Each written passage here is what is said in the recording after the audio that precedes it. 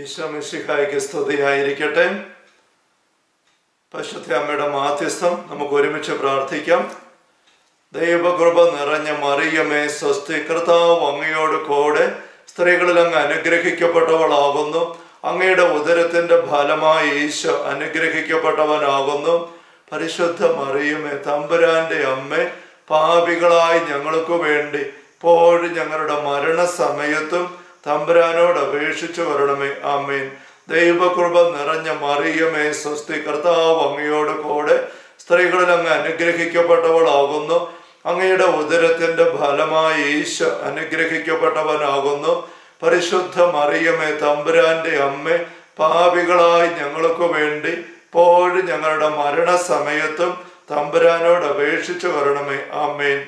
ദൈവകൃപ നിറഞ്ഞ മറിയമേ സ്വസ്തി കർത്താവ് അങ്ങയോട് കൂടെ സ്ത്രീകളിൽ അങ്ങ് അനുഗ്രഹിക്കപ്പെട്ടവളാകുന്നു. അങ്ങയുടെ ഉദരത്തിന്റെ ഫലമായി ഈശോ അനുഗ്രഹിക്കപ്പെട്ടവനാകുന്നു. പരിശുദ്ധ മറിയമേ തമ്പുരാന്റെ അമ്മ പാപികളായി ഞങ്ങൾക്ക് വേണ്ടി പോഴും ഞങ്ങളുടെ മരണസമയത്തും തമ്പുരാനോട് അപേക്ഷിച്ചു വരണമേ ആമേൻ. പിതാവിനും പുത്രനും പരിശുദ്ധാത്മാവിന് സ്തുതി. അതിലെ പോലെ ഇപ്പോഴും എപ്പോഴും എന്നേക്കും. അമ്മീൻ പരിശുദ്ധ പരമ ദിവ്യ കാരുണ്യത്തിന് എന്നേരവും ആരാധനയും സ്തുതിയും പുകഴ്ചയും ഉണ്ടായിരിക്കട്ടെ. പരിശുദ്ധ പരമ ദിവ്യ കാരുണ്യത്തിന് എന്നേരവും ആരാധനയും സ്തുതിയും പുകഴ്ചയും ഉണ്ടായിരിക്കട്ടെ. പരിശുദ്ധ പരമ ദിവ്യ കാരുണ്യ ഈശോയ്ക്ക് എന്നേരവും ആരാധനയും സ്തുതിയും പുകഴ്ചയും ഉണ്ടായിരിക്കട്ടെ. ഈശ്വര ഏറ്റവും സ്നേഹമുള്ള സഹോദരരെ നമ്മുടെ ഈ ഓൺലൈൻ ധ്യാനത്തിന്റെ അറുപത്തി അഞ്ചാമത്തെ സെഷനാണല്ലോ ഇത്. രണ്ടാം പ്രമാണത്തെക്കുറിച്ച് നമ്മൾ ധ്യാനിച്ചുകൊണ്ടിരിക്കുകയാണ്. അതിന്റെ ഇരുപത്തി ഒൻപതാമത്തെ സെഷനുമാണിത് രണ്ടാം പ്രമാണത്തിന്റെ പല പല മേഖലകൾ നമ്മൾ പടിപടിയായിട്ട് കടന്നു വരാൻ പശുധാത്മാവ് നമ്മളെ ഈ നാളുകളിൽ നയിക്കുകയായിരുന്നു. ചിലപ്പോൾ നിങ്ങൾ ആരുടെയെങ്കിലും കൂടി ചെന്ന് വേണേ വരാം. അച്ഛാ ഇതെല്ലാം രണ്ടാം പ്രമാണത്തിനകത്ത് വരുന്ന കാര്യമാണോ? ചിലപ്പോൾ ഞാനും ആ ചിന്തിച്ചിട്ടുണ്ട് തമ്പുരാന്റെ മുമ്പിൽ പക്ഷേ പശുതാത്മാവ് നമ്മളെ നയിക്കുകയാണ്. നമ്മൾ കാണുന്ന കാര്യങ്ങളെല്ലാം ഗൗരവമുള്ള കാര്യങ്ങളാണ്. വളരെ പ്രായോഗികമായ പ്രസക്തിയുള്ള കാര്യങ്ങളാണ് നമുക്ക് തിരിയുന്നുണ്ട്. നമുക്ക് ഈ കാര്യങ്ങൾ പല മേഖലയിലല്ല പല വശത്തു നിന്ന് കയറി കണ്ടതിനെ നിരീക്ഷിക്കാനും ധ്യാന വിഷയമാക്കാനും സാധിക്കും. എന്നുള്ള യാഥാർത്ഥ്യമാണ് ഓരോ ഒറ്റ ഒറ്റപ്പെട്ട ഒറ്റപ്പെട്ട വിഷയങ്ങളായിട്ടും. പക്ഷെ വിശുദ്ധരമ്പതോടെ പ്രത്യേകമായ രീതിയിൽ നയിച്ചുകൊണ്ട് ദൈവത്തിന്റെ നാമം വൃഥ ഉപയോഗിക്കരുത്. അതിന്റെ അതൊരു നിഷേധാത്മകമായ അനുശാസനം നമ്മൾ കണ്ടു. വൃഥ ഉപയോഗിച്ചാൽ ദൈവത്തിന് ശിക്ഷ വരും. അതിനെ നമ്മൾ ആഴപ്പെട്ട് കണ്ടപ്പോൾ പശുത്താത്മാവ് നമുക്ക് ബോധ്യം തന്നു. ഈശോ പഠിപ്പിച്ചു. കർത്താവിന് പിതാവെ അങ്ങയുടെ നാമം പൂജിതമാകണമേ എന്നുള്ള പ്രാർത്ഥന. ഈശോ അത് പിതാവിനെ വിളിച്ചിട്ട് രണ്ടാമത് ആ പ്രാർത്ഥനയിൽ പറയുന്ന ഫ്രേസ് ഉപയോഗിക്കുന്ന ഒരു പദസമുച്ചയം അങ്ങയുടെ നാമം പൂജിതമാകണമേ എന്നുള്ളത്. ഇപ്പൊ സ്വർഗസ്ഥനായ പിതാവെ നിങ്ങൾ ഇപ്രകാരം പ്രാർത്ഥിക്കണമെന്ന് പറഞ്ഞാണ് ഈശോ പ്രാർത്ഥന പഠിപ്പിക്കുന്നത്. അപ്പൊ ആദ്യത്തെ ഒന്നാമത്തെ ഒരു പദസമുച്ചയം ഫ്രേസ് സ്വർഗസ്ഥനായ ഞങ്ങളുടെ പിതാവെ. രണ്ടാമത്തെ ഒരു ഫ്രേസ് പദസമുച്ചയം അങ്ങയുടെ നാമം പൂജിതമാകണമേ അപ്പൊ ഒന്നാമത്തെ ഫ്രേസ് പദസമുച്ചയം ഒന്നാം കൽപ്പനയുടെ സൂചനയായിട്ട് നമുക്ക് കാണാനായിട്ട് പറ്റുന്നു. ഞാനാണ് നിന്റെ ദൈവമായ കർത്താവ്. രണ്ടാമത്തെ പദസമുച്ചയം അങ്ങയുടെ നാം പൂജിതമാകണം. അത് രണ്ടാം കൽപ്പനയുടെ പദ സൂചനയായിട്ട് നമ്മൾക്ക് കാണാനായിട്ട് സാധിക്കുന്നു. ദൈവത്തിന്റെ നാമം വൃഥ ഉപയോഗിക്കരുത്. ആദരവോടുകൂടെ ഉപയോഗിക്കാനായിട്ട് സാധിക്കണം. എങ്കിലേ ദൈവമായ കർത്താവ് പിതാവായിരിക്കുന്നതിന്റെ കരുത്തും സംരക്ഷണമൊക്കെ മക്കളായിരിക്കും നമുക്ക് അനുഭവമായി തീരുകയുള്ളൂ. അപ്പോൾ അവിടുത്തെ നാം വൃഥാവ് ഉപയോഗിക്കരുത്? വൃഥ ഉപയോഗിച്ചാൽ ശിക്ഷിക്കപ്പെടും. ആ ശിക്ഷിക്കപ്പെടുക എന്നുള്ള ദൈവം അറിഞ്ഞു വന്ന് ഇങ്ങനെ ശിക്ഷിക്കുന്നതല്ല. മറിച്ച് തമ്പുരാന്റെ പൈതൃക പരമാനയ്ക്ക് നമ്മൾ പുറത്തു പോകുന്നതാണ്. നമ്മൾ നമ്മൾ പ്രാവശ്യത്തിന്റെ ചില ചിന്തകൾ ഒന്ന് പെട്ടെന്ന് ക്രോഡീകരിക്കാൻ എന്റെ മനസ്സിൽ പ്രേരണ വരുന്നതുകൊണ്ട്. കാരണം നമ്മൾ ഈ ചിന്തകളുമായിട്ട് പോകുമ്പം ഇതൊരു കാട് കയറി ചിന്തയാന്നുള്ള ആർക്ക് ഒരു ചിന്ത വരാൻ പാടില്ല. ഈ വിചിന്തനം നമ്മൾ ആവശ്യമില്ലാതെ മനസ്സ് നീട്ടിക്കൊണ്ട് പോവുകയാണെന്നോ അങ്ങനെ ചിന്തിക്കാതെ പരിശുദ്ധർമാവ് നമ്മളെ നയിക്കുന്ന ഓർമ്മിക്കുക. അനാവശ്യമായ കാര്യങ്ങളാണെന്ന് ഒരിക്കലും അങ്ങ് ചിന്തക്ക് വരുമെന്ന് ഞാൻ വിചാരിക്കുന്നില്ലെങ്കിൽ പോലും ചിലപ്പോഴൊക്കെ ചില കമന്റുകൾ ഞാൻ അവിടെ ഇവിടെയും കാണുമ്പോൾ എനിക്ക് ചില സംശയം വരുന്ന. അങ്ങനെയുള്ള ഒരു ദുഷ്പ്രേരണ സാത്താൻ കുറച്ച് പേരോട് ഇട്ട് കൊടുക്കുന്നുണ്ടോ എന്ന് അതിന്റെ ആവശ്യമില്ലെന്ന് അറിയണം. വൃഥ ഉപയോഗിക്കരുത്. വൃഥ ഉപയോഗിച്ച ദൈവത്തെ ശിക്ഷ വരുമെന്ന് പറയുമ്പോൾ ദൈവം ശിക്ഷിക്കുന്നതല്ല മറിച്ച് ദൈവത്തിന്റെ പൈതൃക ഭവനത്തിലെ സംരക്ഷണം നമുക്കില്ലെന്നായി പോകുന്നതിന്റെ ബാക്കിയായിട്ട് വരുന്ന ദുരന്ത ഫലങ്ങളാണ്. നമ്മൾ ആവർത്തിച്ച് പറഞ്ഞല്ലോ സിറമലമ കുബാനയിലെ ലേഖന വായനയ്ക്ക് മുമ്പുള്ള പ്രാർത്ഥനയിലെ സർവജ്ഞനായ ഭരണകർത്താവ് തന്റെ ഭവനത്തിൽ വസിക്കുന്നവരുടെ വിസ്മയനീയനായ പരിപാലകനും വിസ്മയനീയനായ പരിപാലനം നൽകാൻ സാധിക്കുന്ന പിതാവാണ് അവിടുന്ന്. പക്ഷെ ഭവനം വിട്ടുപോയി കഴിഞ്ഞാൽ പരിപാലന ഇല്ല. ധൂർത്തപുത്രൻ പന്നിക്കൂട്ടിലെ തവിട് പോലും തിന്നാൻ കിട്ടിയില്ല. ആ അവസ്ഥയിൽ പോയി ഇത്ര സമൃദ്ധിയുള്ള ശക്തനായ സ്നേഹസമ്പന്നനായ ഒരു അപ്പന്റെ മകനായിരുന്നിട്ടും അത് ഈശോ പറയുന്ന ഉദാഹരണമാണല്ലോ ഉപമയാണല്ലോ. നമ്മൾ ആരംഭത്തിൽ ഇതെല്ലാം ഉൾച്ചേർത്തൊരു ഉപമ നമ്മൾ കണ്ടതാണ്. ഒരു അപ്പന്റെ വീട്ടിൽ നഷ്ടപ്പെട്ടു പോകുന്ന കുഞ്ഞ് തട്ടിക്കൊണ്ട് പോകപ്പെടുന്നു. അതിന്റെ പുറകിൽ അത് ആ ഉപമയിൽ അത് യാദർശ്യമായിട്ട് സംഭവിക്കുന്നു. ചെന്നായ്ക്കളോ കുരങ്ങന്മാരോ തട്ടിക്കൊണ്ട് പോകുന്നു. പക്ഷെ നമ്മൾ അതിന്റെ യഥാർത്ഥ അവസ്ഥയിലേക്ക് വരുമ്പോൾ ബൈബിളിൽ നമ്മൾ കാണുന്നത് പിശാചിക്കളുടെ കെണിയിൽ പെട്ടുപോകുന്നതാണ് മനുഷ്യന്റെ അശ്രദ്ധത്തിന് കാരണമായിട്ട് ഉണ്ട് താനും. അങ്ങനെ നഷ്ടപ്പെട്ടു പോയ പിതൃഭവനത്തിലെ സുഖവാസം സൗഭാഗ്യവാസം അത് തിരിച്ചു നമുക്ക് തരാൻ വേണ്ടിയിട്ടാണ് ഈശോ മൂത്ത പുത്രൻ ആദ്യ ജാതൻ ഭൂമിയിലേക്ക് വന്ന് നമ്മളെ കൂട്ടിക്കൊണ്ട് സ്വർഗത്തിലേക്കുള്ള പാത ഒഴുക്കി കെട്ടുകളൊക്കെ പൊട്ടിച്ച് വഴി ഒരുക്കി സ്വർഗത്തിന്റെ മക്കളാക്കി നമ്മൾ രൂപാന്തരപ്പെടുത്താൻ സഭയിൽ നിയോഗിച്ചിരിക്കുന്ന വിശുദ്ധാത്മാവ് സഭയിലെ നിരവധി ശുശ്രൂഷകൾ നമ്മൾ സ്വർഗത്തിന്റെ മക്കളാക്കി തീർക്കുന്നു. ആ പ്രക്രിയയിലേറ്റ അടിസ്ഥാനപരമായ അനുഭവം ആബാ പിതാവേ ദൈവത്തെ വിളിക്കുക എന്നുള്ളതാണ്. അതാ ഈശോ പറഞ്ഞു ഇപ്രകാരം നിങ്ങൾ ദൈവത്തെ പിതാ പിതാവേ എന്ന് വിളിച്ച് എന്ന് നമ്മൾ വിളിച്ചുകൊണ്ട് കടന്നു വരണം. അങ്ങനെ നമ്മളെ ദൈവത്തെ ആബാന്ന് വിളിക്കുക നമ്മളെ നിരന്തരം സഹായിക്കുന്ന ദൈവത്തിന്റെ ആത്മാവ് നമ്മുടെ കൂടെയുള്ള സഹായകൻ പരിശുദ്ധാത്മാവ് പരിശുദ്ധാത്മാവിന്റെ പ്രവർത്തനവേദിയാണ് സഭ. അപ്പം അടുപ്പത്തിലേക്ക് നയിക്കുന്ന ഭയത്തിന്റെ ആത്മാവിനെ അല്ല മറിച്ച് പുത്ര സ്വീകാര്യതയിലേക്ക് നമ്മൾ പുത്രനായിട്ട് സ്വീകരിക്കപ്പെടുന്ന അവസ്ഥയിലേക്ക് നമ്മളെ കൊണ്ടുപോകുന്ന ദൈവത്തിന്റെ ആത്മാവ്. അതാണ് പരിശുദ്ധാത്മാവ്. ആത്മാവിനെ സ്വീകരിച്ച് നമ്മൾ വളർന്നുകൊണ്ടേ ഇരിക്കുന്നത് റോമാലേഖനം എട്ടാം അധ്യായത്തിൽ പതിനാല് പതിനഞ്ചൊക്കെ ഒരു വാക്യം കണ്ടതാണ്. അങ്ങനെ നമ്മുടെ പുത്രനെങ്കിൽ ഈശോയ്ക്കൊപ്പം നമ്മൾ അവകാശികളുമാണ്.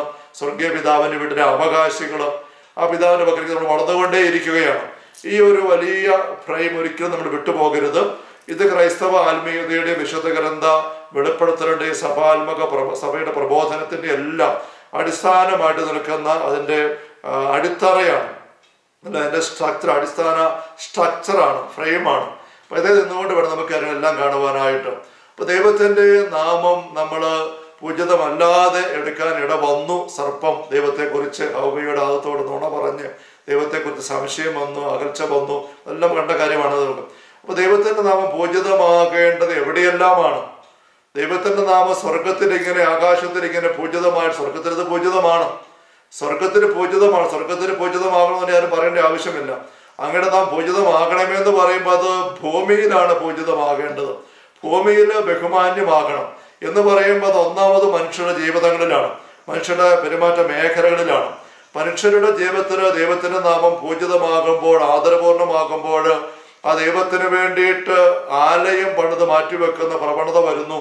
നമ്മൾ കണ്ടില്ലേ യാക്കോബ് ഒരു സ്ഥലത്ത് കിടന്ന് ഉറങ്ങി സ്വപ്നമുണ്ടായി. ഒരു ഒരു ഗോവണി ആ ഗോവയുടെ മുകളിൽ സ്വർഗം തുറന്ന് ദൈവം പിതാവായ ദൈവം സന്നിഹിതനായിരിക്കുന്നു. മാലാക്കന്മാർ ഇറങ്ങി പോവുകയും ചെയ്യും ദൈവം സംസാരിക്കുന്നു. പിന്നീട് ഉറക്കം തെളിഞ്ഞ് രാവിലെ യാക്കോബ് ഉണർന്നു കഴിയുമ്പോൾ യാക്കോബ് പറയുകയാണ് ഇത് ദൈവത്തിന്റെ ഭവനമല്ലാതെ മറ്റൊന്നുമല്ല. യാക്കോബിന്റെ സ്വപ്നം ഉൽപ്പത്തി പുസ്തകം ഇരുപത്തി എട്ടാമത്തെ അധ്യായത്തിൽ അപ്പൊ അങ്ങനെ ഒരു ദൈവത്തിന്റെ സാന്നിധ്യം തിരിച്ചറിഞ്ഞ് ദൈവത്തോട് ആദരവ് നിറഞ്ഞ് ബഹുമാനം നിറഞ്ഞു ഇഷ്ടം നിറഞ്ഞു ദൈവത്തിന്റെ പരിപാലന ദൈവം വാഗ്ദാനം ചെയ്യുന്നുണ്ട്. ആ ദർശനത്തിന് ഞാൻ നിന്റെ കൂടെ ഉണ്ടായിരിക്കും. നീ പോകുന്നിടത്തല്ല ഞാൻ നിന്നെ കാത്തു രക്ഷിക്കും. പതിനഞ്ചാം വാക്യം ഇരുപത്തെട്ടാം അധ്യായത്തിൽ നിന്നോട് ഞാൻ പറഞ്ഞതൊക്കെ നിറവേറ്റുന്നവരെ നിന്നെ കൈവിടുകയില്ല. അങ്ങനെ ദൈവത്തിന്റെ വാത്സല്യം പൈതൃകമായ പരിപാലനെ കുറിച്ചുള്ള ഒരു വ്യക്തത ഈ മകനായിരിക്കും. അന്യനാട്ടിൽ കഴിയുന്ന മകൻ ഒരു വെളിച്ചം കിട്ടുക. പിതാവായ ദൈവം തന്നെ വിളിക്കുന്നു എന്റെ കൂടെ ഉണ്ടെന്ന് പറയുന്നു. അങ്ങനെ ആ ദൈവത്തെക്കുറിച്ചുള്ളൊരു ബഹുമാന അവബോധം ഒരു സംഭോജ്യമായ ആദരവ് ഉള്ളിൽ കയറി കഴിഞ്ഞപ്പോൾ ആ സ്ഥലത്തോട് തന്നെ യാക്കോബിന് ഒരു ആദരവുണ്ടായി ഈ സ്ഥലത്തോട് തന്നെ. ഇപ്പൊ ദൈവത്തോടുള്ള ആദരവ് ദൈവം ഇടപെടുന്ന സ്ഥലത്തോടുള്ള ആദരവായിട്ട് മാറുകയാണ്. അതാണ് രാവിലെ എണീറ്റ് കഴിയുമ്പോൾ പതിനാറ് പതിനേഴ് തിരുവചനങ്ങളിൽ യാക്കോ വർഗത്തിൽ തുടർന്ന് തീർച്ചയായും കർത്താവ് ഈ സ്ഥലത്തുണ്ട്.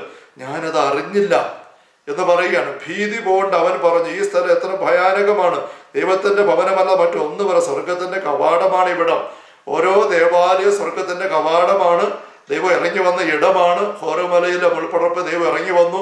അപ്പോൾ ദൈവം സ്വർഗത്തിന്റെ കവാടമായിട്ട് മാറി സോളമൻ സ്ഥാപിച്ച പണിതുയർത്ത് സമർപ്പിച്ച ആ ദേവാലയത്തിൽ ഒന്ന് രണ്ട് രാജാക്കന്മാര് ആറാമത്തെ അധ്യായത്തിൽ നമ്മൾ കാണുന്നു. അവിടെ ദൈവത്തിന്റെ സാന്നിധ്യം. ഒന്ന് രാജാക്കന്മാര് ഒൻപതാം അധ്യായത്തിൽ ദൈവം പറഞ്ഞു എന്റെ കൃപാകാശം ഇവിടെ ഉണ്ടായപ്പോ സ്വർഗത്തിന്റെ കവാടമായിട്ട് ഭാവിക്കുകയാണ്.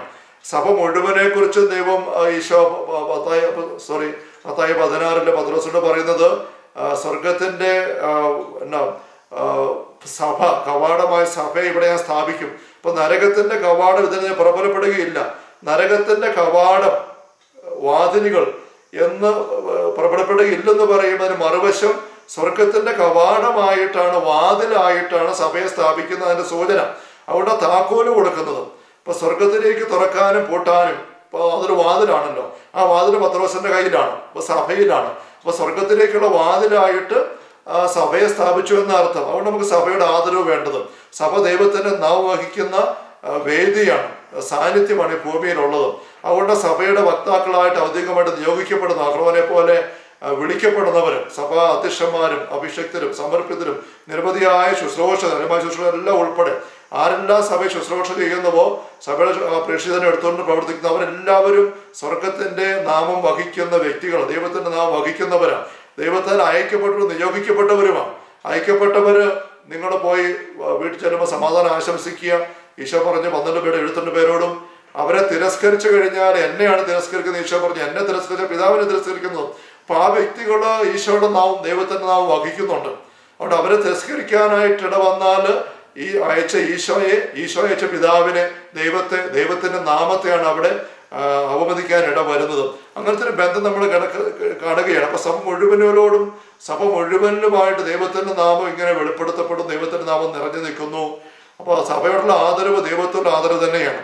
അപ്പൊ ദൈവത്തിന്റെ ആലയം അപ്പൊ ദൈവത്തിന്റെ പ്രത്യേകമായ ഇടപെടലിന് വേദിയാകുന്ന സ്ഥലങ്ങൾ ആദരവിന്റെ സ്ഥലങ്ങളാണ്. അതുകൊണ്ടാണ് ഇവിടെ യാക്കോ പറയുന്നത് ദൈവത്തിന്റെ ഭവനമല്ലാതെ മറ്റൊന്നുമല്ല. ബേത്ത് ഏൽ ബേത്ത് ഭവനം ഏൽ ദൈവം ഏൽ ഏൽ ലമാശക്താനി എന്റെ ദൈവമേ എന്റെ ദൈവമേ എന്ന് പറഞ്ഞ് ഈശോ വിശക്കണമെന്ന് വിളിക്കുന്നത് ഏൽ.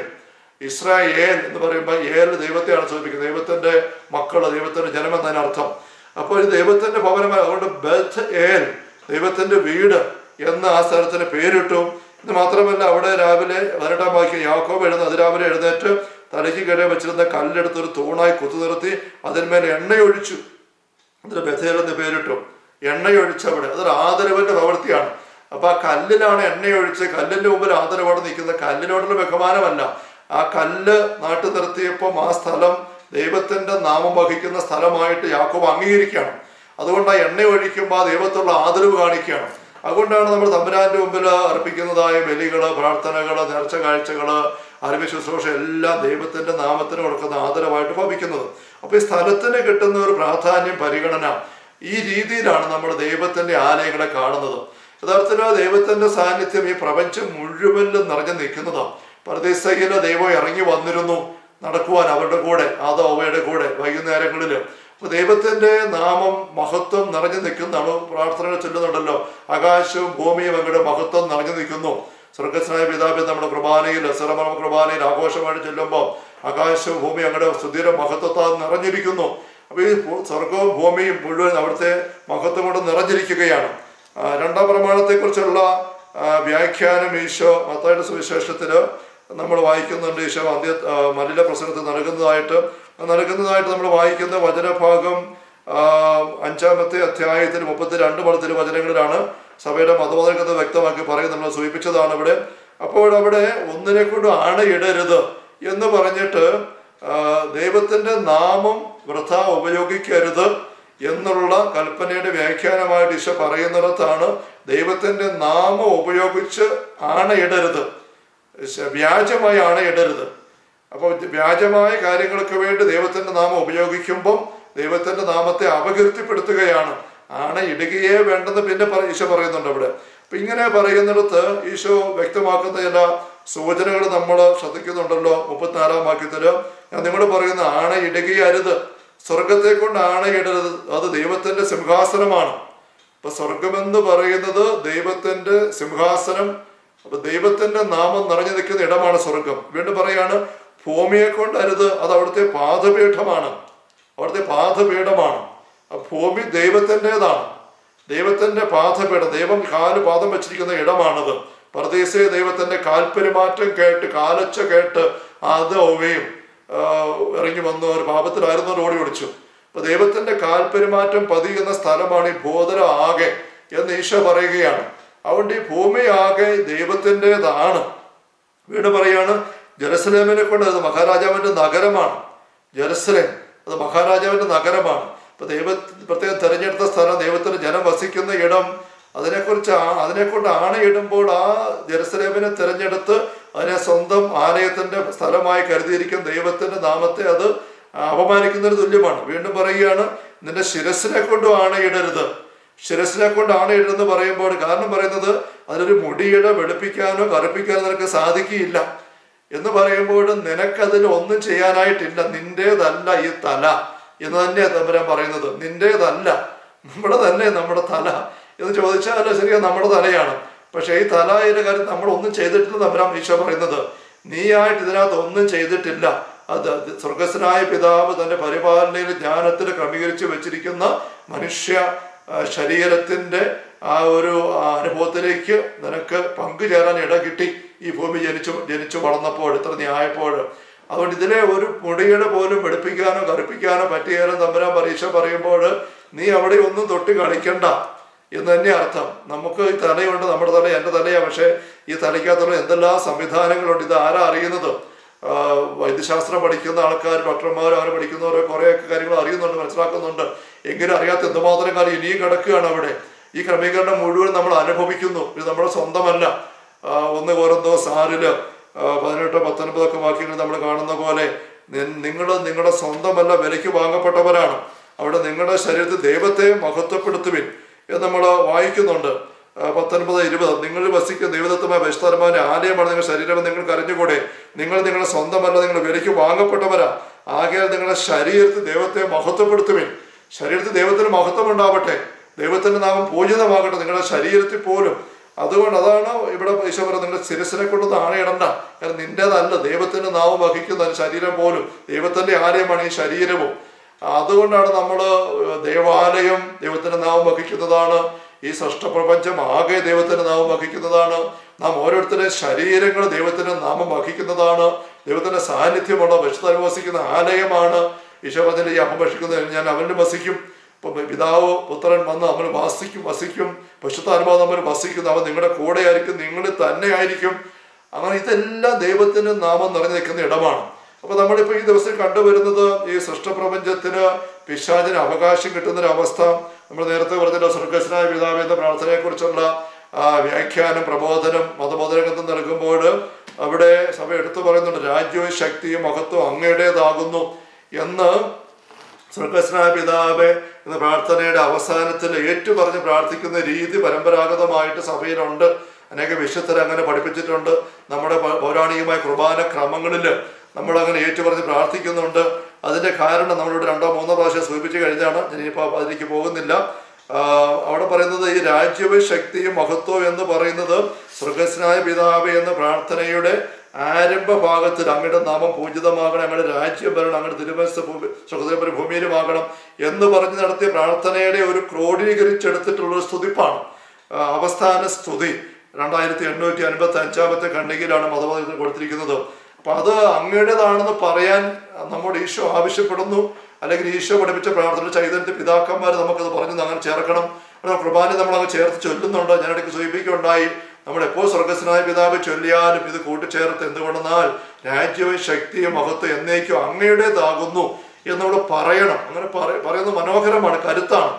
അങ്ങനെ ചെയ്യുമ്പോൾ നമ്മൾ അത് അർത്ഥമാക്കുന്നത് ദൈവമേ രാജ്യവും ശക്തിയും മഹത്വവും മറ്റവും തട്ടിക്കൊണ്ട് പോയി അത് ഞങ്ങളുടെ ആദ്യ മതപതക്കന്മാരായ ഞങ്ങളുടെ ആദത്തിന്റെ ഔവയുടെയും വീ സത്തക്കുറവ് കൊണ്ടാണ് കൂടെ ഞങ്ങളുടെ സത്തക്കുറവ് കൊണ്ട് രാജ്യവും ശക്തിയും മഹത്വം എല്ലാം ഞങ്ങളുടെ ജീവിതത്തിലാകട്ടെ ഈ പ്രപഞ്ചത്തിലാകട്ടെ മനുഷ്യവർഗം മുഴുവനിലുമാകട്ടെ അങ്ങേക്കില്ല. അങ്ങേക്ക് കിട്ടുന്നില്ല. അങ്ങേ ഓർത്തു അങ്ങേ മഹത്വപ്പെടുത്തി അങ്ങേ സ്നേഹിച്ചും അങ്ങ് പറയുന്ന വചസ്സകൾ അനുസരിച്ച് ജീവിക്കാൻ ആർക്കായും താല്പര്യം? അങ്ങയുടെ പരിശുദ്ധിയുടെ വഴി നടക്കാൻ ആർക്കും തന്നെ താല്പര്യമില്ല. എല്ലാവർക്കും ലോകത്തിന്റെ കാര്യങ്ങൾ ഭൗതികമായ കാര്യങ്ങൾ സാമ്പത്തിക നേട്ടങ്ങൾ സ്വന്തം വലുപ്പം മിടുക്ക് അഹങ്കാരം നേട്ടങ്ങൾ അങ്ങനെ ചിന്തിച്ചുകൊണ്ട് മാത്രം ഓടുന്ന ഓട്ടമാണ് ഞങ്ങളെല്ലാം ഓടിക്കൊണ്ടിരിക്കുന്നത്. ഇത് മുഴുവനും കർത്താവെ അങ്ങേക്ക് നൽകേണ്ട മഹത്വത്തിന് വിരുദ്ധമായിട്ട് പിശാജ് ഞങ്ങളെ കെണിയപ്പെടുത്തിയിരിക്കുന്നതാ. ആദ്യമാതാക്കന്മാരുടെ പിശാജ് പറഞ്ഞു നിങ്ങൾ ദൈവത്തെ പോലെ ആകും. അല്ല മാർഗം കാണിച്ചു തരാം. അങ്ങനെ സ്വയം വലുതാകാനുള്ള മാർഗം തേടി പോകുന്ന ഞങ്ങൾ അഹങ്കാരികൾ സ്വാർത്ഥ മോഹികൾ പണം ഉണ്ടാക്കുന്നു വലിയ വീടുകൾ ഉണ്ടാക്കുന്നു വലിയ ബിസിനസ് സാമ്രാജ്യം ഉണ്ടാക്കുന്നു വലിയ അധികാരം നേടിയെടുക്കുന്നു. അങ്ങനെ സമൂഹത്തിൽ വലിയ ആളായി കാണപ്പെടാനായിട്ടുള്ള ഞങ്ങളുടെ പ്രവണത ഓട്ടമല്ല. യഥാർത്ഥ സാത്താന്റെ തന്നെ കെണി ഞങ്ങൾ കയറിയിരിക്കുന്ന സാത്താന്റെ അരൂപിക്ക് ഞങ്ങൾ ഇരയായിരിക്കുന്നതാ. നിങ്ങൾ ദൈവത്തെ പോലെ ആകും. ഈ പടം പറിച്ചു ചെന്നാൽ ഇത് സർപ്പം പറഞ്ഞപ്പോൾ യഥാർത്ഥത്തിൽ അവൻ അതിനു മുമ്പ് സ്വർഗത്തിൽ ദൈവത്തെ പോലെ ആകാനായിട്ട് നോക്കി. അത് നടന്നില്ല. അങ്ങനെ അവന് പറ്റുപറ്റി അവൻ അക്കിടി കെട്ടി അക്കിടി പറ്റി അവന് കെണി പറ്റി അവന്റെ ഉള്ള ഭാഗ്യെല്ലാം വിട്ടുപോയി. അത് അവൻ മറച്ചു വെച്ചിട്ട് നമ്മളെ കൂടെ അവന്റെ കൂട്ടത്തിൽ കെണിപ്പെടുത്താൻ വേണ്ടി വന്നിട്ട് പറയുന്നതാണ് നിങ്ങൾ ദൈവത്തെ പോലെ ആകും. മാർഗം പറഞ്ഞാൽ ഈ പഴം തിന്ന ദൈവത്തിന്റെ വാക്ക് ലംഘിച്ചാൽ മതി. അങ്ങനെ പറഞ്ഞുകൊണ്ടുള്ള കെണി യഥാർത്ഥത്തിൽ ആ സാത്താന്റെ ആ സ്വരമാണ് ഇന്ന് നമ്മളെല്ലാം ഭരിച്ചുകൊണ്ടിരിക്കുന്നത് നയിച്ചുകൊണ്ടിരിക്കുന്നത്. ശരിയല്ലേ? ബാബൽ ഗോപുരം ഉണ്ടാക്കാനായിട്ട് അവർ പണിയുമ്പോൾ ദൈവത്തിന്റെ സ്വർഗത്തോളം ഉയരുന്ന എന്ന് പറഞ്ഞ് നീങ്ങിയപ്പോൾ അത് ദൈവത്തിന്റെ ഒരു സ്നേഹ വാത്സല്യം പരിപാലന സ്വീകരിച്ചുകൊണ്ട് പോകുന്ന പുത്രസഹജമായ ശൈലിക്ക് നിരക്കാത്തതായിട്ട് പോയി. അതുകൊണ്ട് തകർന്നു പോയി തകർക്കാൻ ദൈവം ഇടവരുത്തിയത് നമ്മൾ കാണുകയാണ്. അപ്പൊ ഇന്ന് ലോകത്തിൽ ദൈവത്തിന്റെ നാമം രാജ്യവും ശക്തിയും മഹത്വവും അവിടത്തേക്ക് കിട്ടുന്ന ഒരു അവസ്ഥ ഇല്ലെന്നായി പോയിരിക്കുന്നു. എന്ന് തന്നെ മതബോധനകന്ത ഇവിടെ എടുത്തു പറയുന്നുണ്ട്. ഈ ലോകത്തിന്റെ അധികാരി വ്യാജമായ രീതിയിൽ രാജ്യത്വം ശക്തിയും മഹത്വം എന്നീ മൂന്ന് പദവികൾ സ്വയം ഏറ്റെടുത്തിരുന്നു. അതിനെ അവൻ അതിന് അത് അവന്റെ കയ്യിൽ നിന്ന് പിടിച്ചെടുത്ത് പിതാവിന് കൊടുക്കാൻ ഭൂമിയിലേക്ക് വന്നത്. എങ്കിലും അത് ആയിരിക്കേണ്ട പോലെ കാര്യങ്ങളായിരിക്കുള്ളൂ കാരണം ദൈവമാണ് എല്ലാത്തിന്റെ സൃഷ്ടാവും നിയന്താവും പരിപാലകനും ഉടമസ്ഥനും എല്ലാം. അത് തെറ്റിച്ചുകൊണ്ട് പോകാൻ പാടില്ല.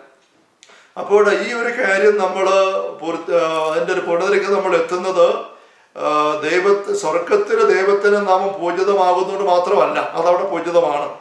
ഈ ദൈവം സൃഷ്ടിച്ച ഈ ഭൂതലത്തിൽ മനുഷ്യ ജീവിതത്തിൽ പ്രപഞ്ചത്തിൽ ദൈവത്തിന്റെ നാമത്തിന് ബഹുമാനം വരണം അങ്ങനെ ചിന്തിക്കുമ്പോഴാണ് നമ്മൾ ദിവസം കണ്ടുവന്ന കാര്യങ്ങൾ രണ്ടാം പ്രമാണത്തിന്റെ തരം തന്നെയാണ് നമുക്ക് ആഴപ്പെട്ട് കിട്ടുന്നത്. ഏത്? ഈ സ്ഥലം. നമ്മൾ പറഞ്ഞില്ലേ പിശാചിന് അവകാശമായിട്ട് കിട്ടിയ സ്ഥലം. എന്ന് പറയുമ്പോൾ അത് ദൈവത്തിന് മഹത്വമില്ലാത്ത ദൈവത്തിന്റെ നിയന്ത്രണത്തിൽ നിന്ന് തട്ടിക്കൊണ്ട് പോകപ്പെട്ട സ്ഥലമായിട്ട് ആ ഒരു പറമ്പ് മാറുകയാണ്. പൈശാചിക അരികൾ വിളിച്ചു വരുത്തി കുടിയിരുത്തി ആചാര കർമ്മങ്ങൾ ചെയ്ത് പിശാചിന്റെ കയ്യിലുടന്ന സ്ഥലമായിട്ട് മാറുമ്പോൾ ദൈവത്തിന്റെ സ്വാധീന സാന്നിധ്യം ഓഫാക്കി കളഞ്ഞു. ദൈവത്തിന്റെ നാമത്തിനോട് ബഹുമാനമില്ല. അതുകൊണ്ട് എന്താ അത് ദൈവ തമ്പുരാൻ കൽപ്പനയെ പറഞ്ഞു രണ്ടാം കൽപ്പനയിൽ ദൈവത്തിന്റെ നാമം ഭർത്താവ് ഉപയോഗിച്ചാൽ ശിക്ഷിക്കപ്പെടും. ആ ശിക്ഷ ആൾക്കാർ കിട്ടുക പിശാചിന് അവകാശമായിട്ട് കിട്ടിയ സ്ഥലത്ത് വസിക്കുന്ന കുടുംബം ഞെരുങ്ങുകയാണ്. യശയ ഇരുപത്തിനാല് അഞ്ചാറ് വാക്യത നമ്മൾ കണ്ടതുപോലെ ഉപവാസികൾ നിമിത്തം നിവാസികൾ നിമിത്തം സ്ഥലം ഭൂമി ശാപം വിഴുങ്ങുന്ന അവസ്ഥയിലേക്ക് പോയി. എന്നിട്ട് ആ ശാപം നിവാസികളെ ദഹിച്ചു തീർക്കും നിവാസികൾ ദഹിച്ചു തീരുകയാണ്. അതുകൊണ്ട് നിവാസികൾ ശിക്ഷ അനുഭവിക്കും. അതാണ് ശിക്ഷ. ദൈവത്തിന്റെ നാമത്തിന്റെ ബഹുമാന്യത നിലനിൽക്കുന്നില്ലാത്ത ഇടങ്ങളിൽ വസിക്കാൻ ഇടവരുന്ന സ്ഥലങ്ങളിൽ വസിക്കാൻ ഇടവരുന്ന വ്യക്തികൾ ദഹിച്ചു തീരുന്നു. പന്തിക്കൂട്ടി പോയി കിടക്കുന്ന തൂർത്തപുത്രൻ ദഹിച്ചു തീരുകയാണ്. അവന് ഭക്ഷണമില്ല വസ്ത്രമില്ല ബഹുമാന്യതയില്ല സന്തോഷമില്ല ഒന്നുമില്ല കൂട്ടുമില്ല. ആ അവസ്ഥയിൽ അവൻ പോയി. എന്തുകൊണ്ടാ? അപ്പന്റെ പേര് അപ്പന്റെ വചനം അപ്പന്റെ മനസ്സ് അവൻ പുച്ഛിച്ച് തള്ളി. അപ്പന് അവന്റെ ഹൃദയത്തിൽ മാന്യമായ സ്ഥാനമില്ലാതെ പോയി. അപ്പന്റെ നാമം അവന് പൂജിതമല്ലാതായി പോയി. അപ്പൻ മണ്ടൻ വൃത്തികെട്ടവൻ അധികാരപ്രമത്തൻ. അപ്പനോട് നടന്ന ശരിയാവുകയല്ല. അപ്പൻ അവന്റെ പണി നോക്കും. എന്നെ എന്റെ വഴിക്ക് വിട്ടാൽ. അപ്പൻ അവൻ പുല്ലുവല കൊടുത്തു. അവസാനം പുല്ലുപോലെ ആയതാരാ? ഈ തൂർത്തപുത്രനാ പക്ഷെ അപ്പന്റെ മോന്റെ ഉള്ളിൽ അപ്പനെ കുറിച്ചുള്ള ബഹുമാനം ഉണ്ടാവണം വീണ്ടും. അതാണ് സുബോധമുണ്ടായി ഇതൊക്കെ പറഞ്ഞിട്ട് വായിക്കുക. അവന് സുബോധമുണ്ടായി. എന്റെ പിതാവിന്റെ ഭവനത്തിൽ കണ്ടോ? എന്റെ പിതാവ് അവനെ കുറിച്ച് അവന് ബഹുമാനമുണ്ടായി. ആ ബഹുമാനം അവന്റെ ഉള്ളിൽ അപ്പനെ കുറിച്ച് ആദരവുണ്ടായി ബഹുമാനമുണ്ടായി ഇഷ്ടമുണ്ടായി. അപ്പോഴവന് തിരിച്ചു പോകാൻ സാധിക്കുന്നത്. അവൻ വീട്ടിലേക്ക് തിരിച്ചു വന്നില്ലേലും അപ്പന് അപ്പന്റെ വീട്ടിൽ അവിടെ ബഹുമാനം കുറവൊന്നുമില്ല. അവിടെ ഉള്ളവരുടെ ഇടയിൽ. അപ്പൻ അവിടെ ബഹുമാനത്തോടെ ആദരവോടെ വീക്ഷിക്കപ്പെട പരി പരിഗണിക്കപ്പെടുകയും അപ്പന്റെ അവിടെ എല്ലാ അധികാരവും ഉണ്ട്. അപ്പനവിടെ ഒരു പോരായ്മ വന്നിട്ടില്ല. അപ്പന്റെ ഉള്ളിൽ മോൻ പോലെ സങ്കടമുണ്ട് ശരിയാണ്. അതല്ലാതെ അപ്പൻ അവിടെ അപ്പനായിരിക്കുന്ന അവസ്ഥയ്ക്ക് ഒരു കുറവുമില്ല അപ്പന്റെ വീട്ടിൽ അതുകൊണ്ട് അപ്പന്റെ നാമം പൂജിതമാകണം ഈ മോന്റെ ഹൃദയത്തിൽ എന്ന് പറയുമ്പം അപ്പന്റെ നാമത്തെ നീ നിന്ദിക്കരുത് എന്ന് ഈ സുഹൃത്തിനോട് ആരെങ്കിലും പറഞ്ഞാൽ അതിന്റെ അർത്ഥം രണ്ടാം പ്രമാണമാണ്. രണ്ടാം പ്രമാണമാണ്. മോനെ നിന്റെ തകർച്ചയ്ക്ക് മുഴുവൻ കാരണം നീ അപ്പനെ നിന്ദിച്ചു. അപ്പനെ പുച്ഛിച്ചു. അപ്പനെ നീ അപഹസിച്ചു. അപമതിച്ചു അതുകൊണ്ടാണ് നിന്റെ തകർച്ച മുഴുവൻ വന്നത്. അതുകൊണ്ട് അപ്പനെ അവമതിച്ചുകൊണ്ട് നീ ഇപ്പൊ ശിക്ഷിക്കപ്പെടുകയാണ്. അപ്പനെ ബഹുമാനിച്ച് സർഗസായിതാവേന് രണ്ടാമത്തെ ഫ്രൈസ് പറയുന്നത് പൊതുസമുച്ചയം അങ്ങയുടെ നാമം പൂജിതമാകണമേ എന്ന് പറ. തൂർത്തപുത്രന്റെ മക്കളെത്തി ആരെങ്കിലും പറയണം. അവനെ നിന്റെ അപ്പനെ പറ്റി ഓർത്തേ. അത് നിന്റെ പ്രിയപ്പെട്ട അപ്പനല്ലേ. നിന്നെ കൂച്ചിക്കെട്ടാനായിട്ട് നോക്കിയ ആളൊന്നുമല്ല ചില നിർദ്ദേശങ്ങളൊക്കെ പറഞ്ഞ് ശരിയാണ്. അത് നിന്നെ വിഷമിപ്പിക്കാൻ വേണ്ടി അല്ല നിന്റെ നന്മയ്ക്ക് വേണ്ടിയിട്ടാണ് അപ്പനെ അനുസരിച്ച് അപ്പനെ ശുശ്രൂഷ ചെയ്തും ആ വീട് താമസിക്കുന്നത് തന്നെയല്ല നിനക്ക് നല്ലതായിരുന്നു മോനെ. ഓർത്തേ അതുകൊണ്ട് അതിയാനെന്നും ചിലപ്പോഴൊക്കെ കുടുംബങ്ങളിലൊക്കെ വിടക്കോ വഴക്കോ അപ്പനോട് വെറുപ്പ് കഴിയുമ്പോൾ പല എന്തെല്ലാം വൃത്തികെട്ട വാക്കുകൾ ഉപയോഗിക്കുന്നുണ്ട്. അതിയാനും പിന്നെ ഞാൻ പറയുന്നില്ല. അങ്ങനെ എന്തെല്ലാം കെട്ട വാക്കുകൾ അപ്പനെ പറ്റി പറയുന്നുണ്ട്. അങ്ങനെ ഒരു മകൻ പറയുമ്പോൾ തന്നെ മകന്റെ അഭിഷേകം മോൻ മകന്റെ അനുഗ്രഹം പോയി. ഗുരുത്തം കെട്ടവൻ എന്ന് പറയുകയല്ലേ? ഗുരുത്തം കെട്ടവൻ. ഗുരുത്തം കെട്ടെന്ന് വെച്ചാൽ അർത്ഥം എന്താ? ഗുരുവിന്റെ അനുഗ്രഹം ഇല്ലാതെ അത് കെട്ടുപോയ വ്യക്തി. ആ ഗുരു എന്ന് പറയുന്നതിന്റെ ഏറ്റവും ഒന്നാമത്തെ ഇത് വരുന്ന മാതാപിതാക്കളാണ്. അവരാണ് ഏറ്റവും ദൈവം നൽകിയ ഗുരുഭൂതര്. ദൈവസ്ഥാനത്ത് നിൽക്കുന്നത് മാതാപിതാ ഗുരു ദൈവം. അതുകൊണ്ട് ഗുരുത്തം കെട്ടെന്ന് പറഞ്ഞു കഴിഞ്ഞാൽ ഗുരു അല്ല സ്കൂളിൽ പഠിപ്പിക്കുന്ന കോളേജിൽ പഠിപ്പിക്കുന്ന ഗുരുവിന്റെ അനുഗ്രഹം മാത്രമല്ല. അതിനു മുമ്പ് നമ്മളെ പഠിപ്പിച്ചത് അപ്പായും അമ്മയാണ്. എന്ന് മാത്രം കാര്യം നമ്മളെ പഠിപ്പിച്ച അതിന്റെ ബാക്കി മാത്രം സ്കൂളിലെ ഗുരുബോധന ചെയ്യുന്നത്.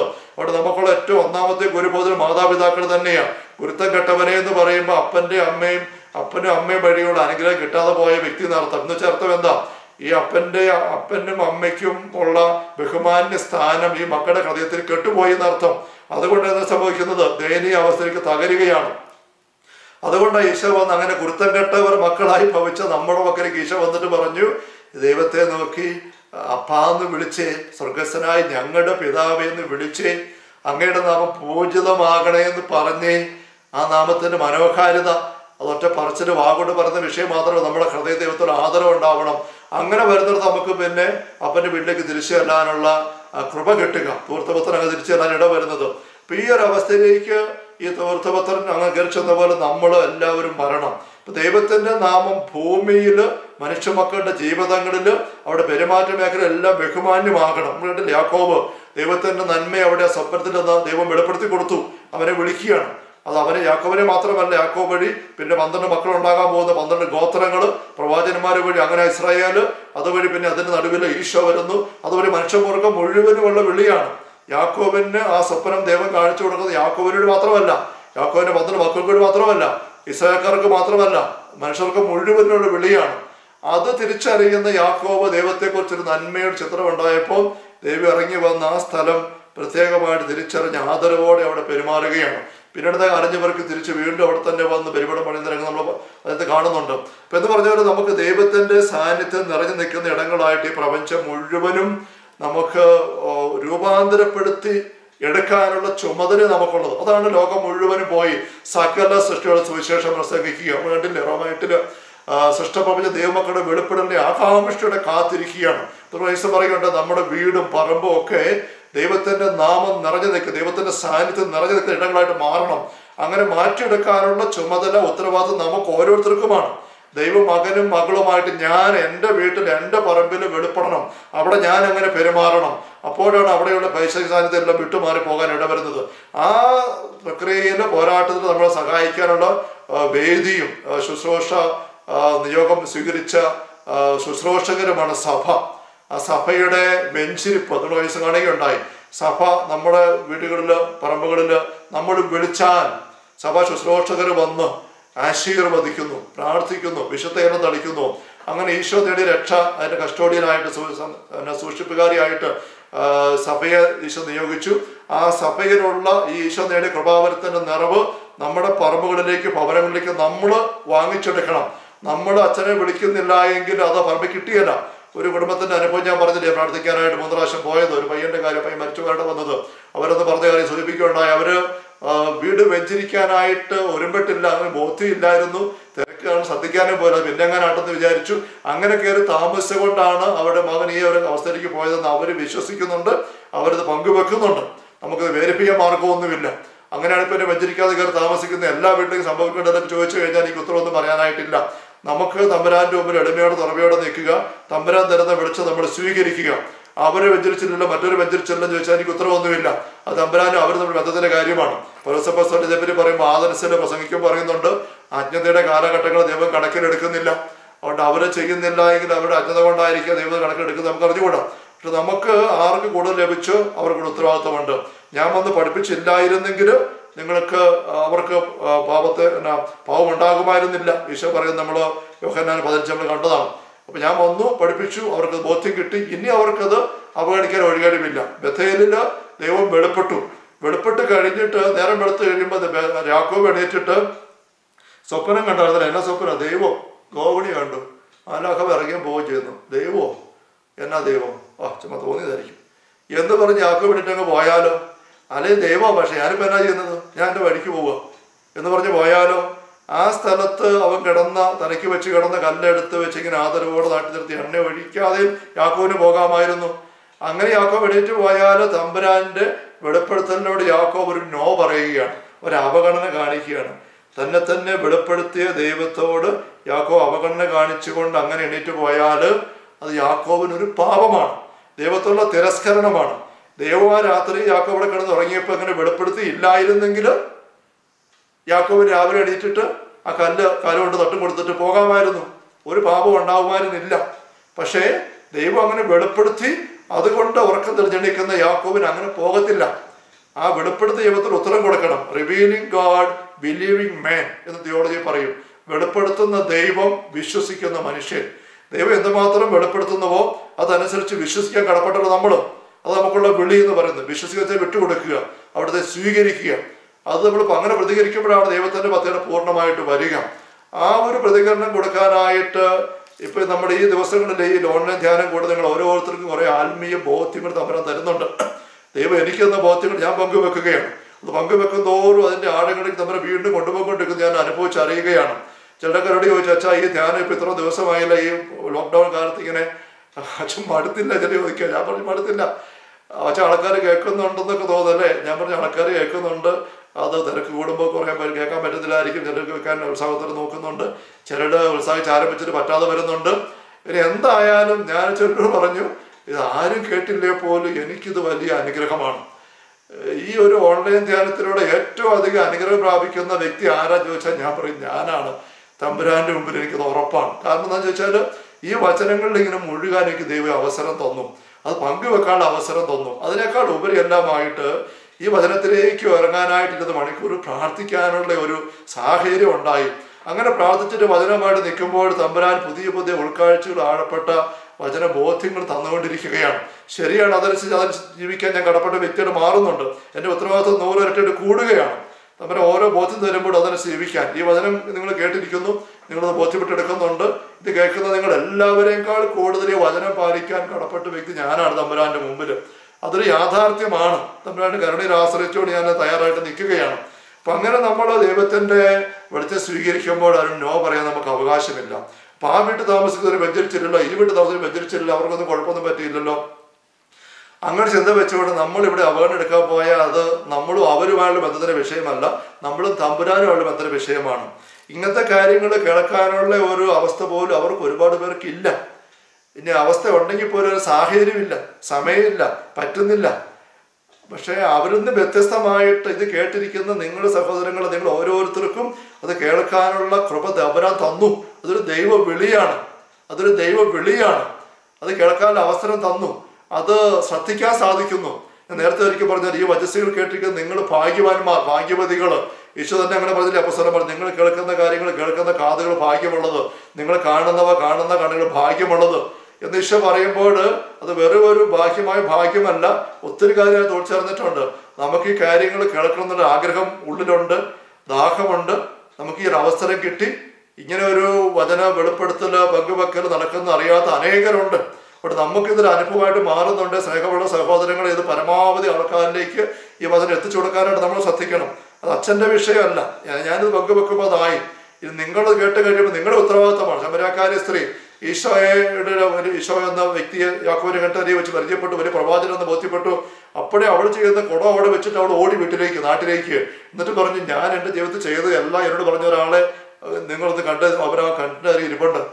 ഞാൻ ചെയ്ത് എല്ലാവരോട് പറയുന്ന പറയുമ്പോൾ ആ സ്ത്രീയെ കുറിച്ച് നാട്ടുകാർക്ക് അറിയാം. അവിടെ ഒത്തിരി വൃത്തി വൃത്തി- വൃത്തികെട്ട അവസ്ഥ നടക്കുന്ന വ്യക്തിയാണ് അതെല്ലാം കൃത്യമായിട്ട് അറിയുന്ന ഒരു അന്യപുരുഷൻ ഒരു അപരിചിതനെ ഉണ്ടെങ്കിൽ ആ വ്യക്തി എന്തെങ്കിലും ദൈവികമായ അറിവ് കൃപയുള്ള വ്യക്തി ആയിരിക്കണം. ആ നാട്ടുകാർ ഒരുപാട് പേര് വന്നു. അങ്ങനെ ഈശോയെ കണ്ട് നമ്മൾ യോഹന നാല് കാണുകയാണ്. ഈശോയെ കേട്ടു. കേട്ട് കഴിഞ്ഞപ്പോൾ അവർക്ക് തോന്നി കൊള്ളാം. അവർ ഈശോയെ വിളിച്ച് ഞങ്ങളുടെ വീട്ടിൽ വരാമോ താമസിക്കാം വീട്ടിൽ വന്ന് ഞങ്ങൾക്ക് കൂടെ കേട്ടാൽ കൊള്ളുന്നുണ്ട് ഈ കണ്ടിനരികിൽ അങ്ങ് ഭക്ഷണം കഴിച്ചിട്ടില്ല വിശന്നിരിക്കുകയല്ലേ? ഈശോ അവരോട് പോയി. അവരോട് പോയിട്ട് ആ കൂടെ താമസിച്ച് രണ്ട് ദിവസം. അത് കഴിയുമ്പോൾ അവർ പറയുന്ന കാര്യം നമ്മൾ വായിക്കുന്നുണ്ട്. യോഹനാസ് സുവിശേഷം നാലാമത്തെ അധ്യായത്തിൽ അവർ ആ സ്ത്രീയോട് പറഞ്ഞു ഇനി ഞങ്ങൾ വിശ്വസിക്കുന്നത് നീ പറഞ്ഞത് വെച്ചോണ്ടല്ല. ഞങ്ങൾ തന്നെ നേരിട്ട് കേട്ട് ബോധ്യപ്പെട്ട് കഴിഞ്ഞിരിക്കുന്നു.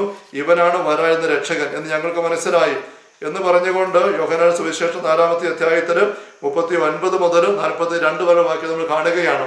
യഥാർത്ഥത്തിൽ അച്ഛനെ പങ്കുവെക്കുന്ന കാര്യങ്ങൾ അച്ഛനോട് നീ പങ്കുവെക്കുന്ന കാര്യങ്ങൾ അച്ഛൻ പറഞ്ഞത് കൊണ്ടല്ല നിങ്ങൾ വിശ്വാസം എടുക്കേണ്ടത് മറിച്ച് അത് നിങ്ങൾ നിങ്ങളുടെ ബുദ്ധിയും ബോധവും വെച്ച് വചനത്തിലേക്ക് നോക്കി വചനത്തിന്റെ കരുത്തിൽ ഒടിയുറച്ച് നിന്നുകൊണ്ട് അത് എടുക്കുക. അത് വെച്ച് മുന്നോട്ട് നിങ്ങൾ വിശദമായി നിങ്ങളെ നയിക്കും. അപ്പൊ നിങ്ങൾക്ക് തന്നെ പിന്നെ പറയാൻ സാധിക്കട്ടെ. ഇത് ഞങ്ങൾക്ക് ബോധ്യപ്പെട്ടു.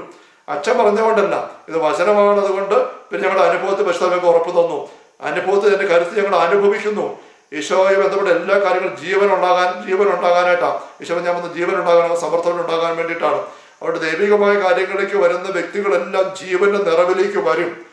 വചനം കേൾക്കുന്ന വ്യക്തി വചനം നിത്യജീവന്റെ വചസ്സുകളാണ് പരിശുദ്ധാത്മാവ് ജീവന്റെ ജലമാണ്.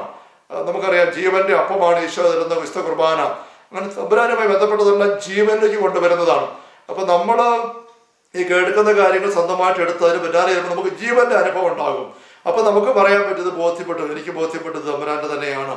അങ്ങനെ നമ്മൾ പങ്കുവെച്ച് ബോധ്യപ്പെട്ട് പിന്നെ നമ്മൾ പങ്കുവെച്ച് അങ്ങനെയാണ് നമ്മൾ ദൈവത്തെ നാമത്തെ മഹത്വപ്പെടുത്തിക്കൊണ്ട് നീങ്ങാനായിട്ട് ഇട വരേണ്ടത് അപ്പൊ നമ്മൾ പറഞ്ഞു വന്നത് നമ്മൾ ഈ കേൾക്കുന്ന കാര്യങ്ങൾ അവിശ്വസിക്കാൻ നമുക്ക് അവകാശമില്ല. നമുക്ക് കേൾക്കുന്ന കാര്യങ്ങൾ അവിശ്വസിച്ചുകൊണ്ട് കേട്ടില്ല എന്ന് പറ്റി നീങ്ങാൻ നമുക്ക് അവകാശമില്ല അനുവാദമില്ല. അങ്ങനെ ചെയ്താൽ നമ്മൾ നമ്മുടെ പക്കലേക്ക് തമ്പുരാൻ സംസാരിച്ച് തമ്പുരാൻ നമ്മൾ നോ പറയുകയാണ്.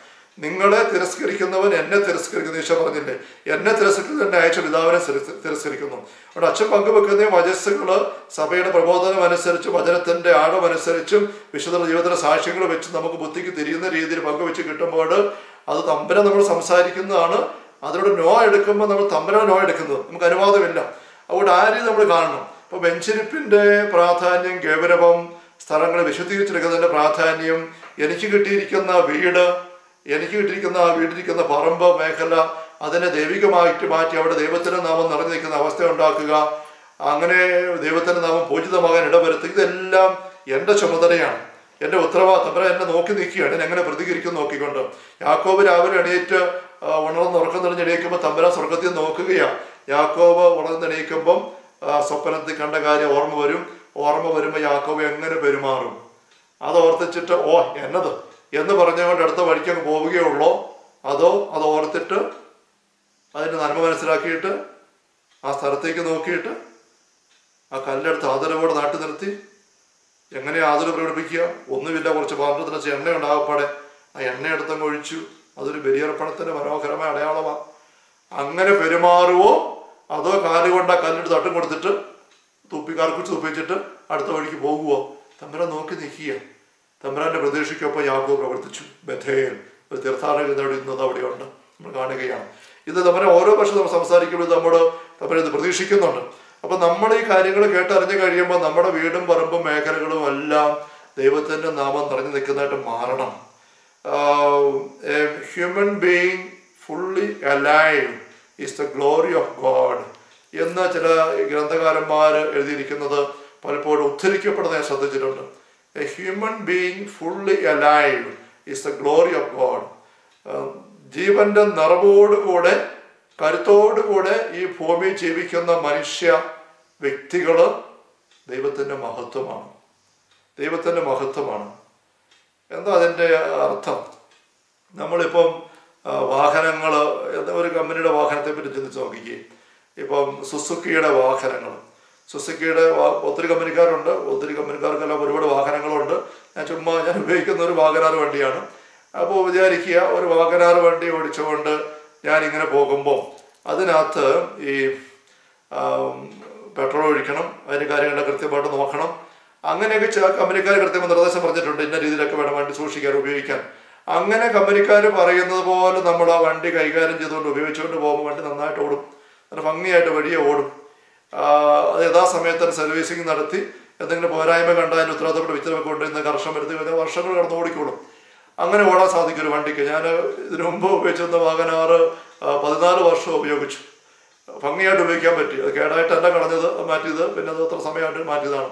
അങ്ങനെ നമ്മുടെ വണ്ടി ഓടുന്ന കാണുമ്പോൾ അത് കാണുന്ന ആൾക്കാർ ചോദിക്കും അച്ഛാ അച്ഛൻ ഈ വണ്ടി ഇത്രയും വർഷമായിട്ട് ഉപയോഗിക്കുക അല്ലേ? ആ ഉവ്വ. ഏത് വണ്ടി അച്ഛാ? ഏത് കമ്പനിയാണ് ഇത് ഈ സുസുക്കിയുടെ വാഗനാറാ മാരുതിയുടെ. ആണല്ലേ? അപ്പോൾ നല്ല വണ്ടിയല്ലേ കണ്ടോ? നന്നായിട്ടൊരു വണ്ടി ഉപയോഗിച്ച് അത് ഓടി ഭംഗിയായിട്ട് ഉപകാരപ്പെടുന്ന കാണുമ്പോൾ ഈ വണ്ടിയെപ്പറ്റി ഒന്നും അറിയത്തില്ല ആൾക്കാർ പറയും ആ വണ്ടി കൊള്ളാമല്ലോ ഇത്ര മോശമായിട്ട് ഒരു കുഴപ്പവും ഇല്ലല്ലോ.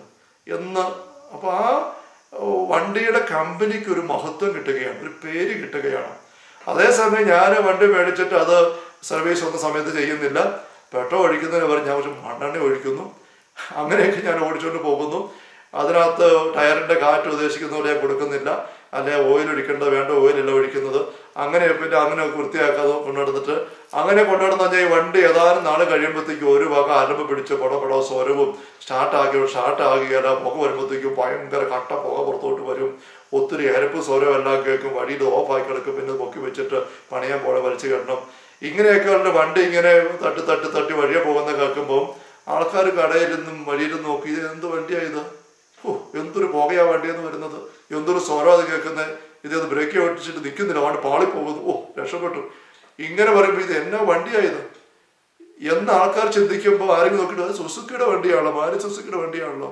ഓ സുസുക്കിയുടെ വണ്ടിയല്ല ഇപ്പം ഇങ്ങനെ ആയിപ്പോയോ സുസുക്കി പണ്ടൊക്കെ നല്ല കമ്പനിയായിരുന്നു. പക്ഷെ ഇപ്പൊ ഇങ്ങനെ ആയിപ്പോയല്ലേ കണ്ടില്ലേ? ഓ നിവൃത്തി ഉണ്ടാവും വാങ്ങിച്ചേക്കരുതോട്ട് ഏത് ചോദിക്കാനുള്ള വരും. നോക്കിക്കേ.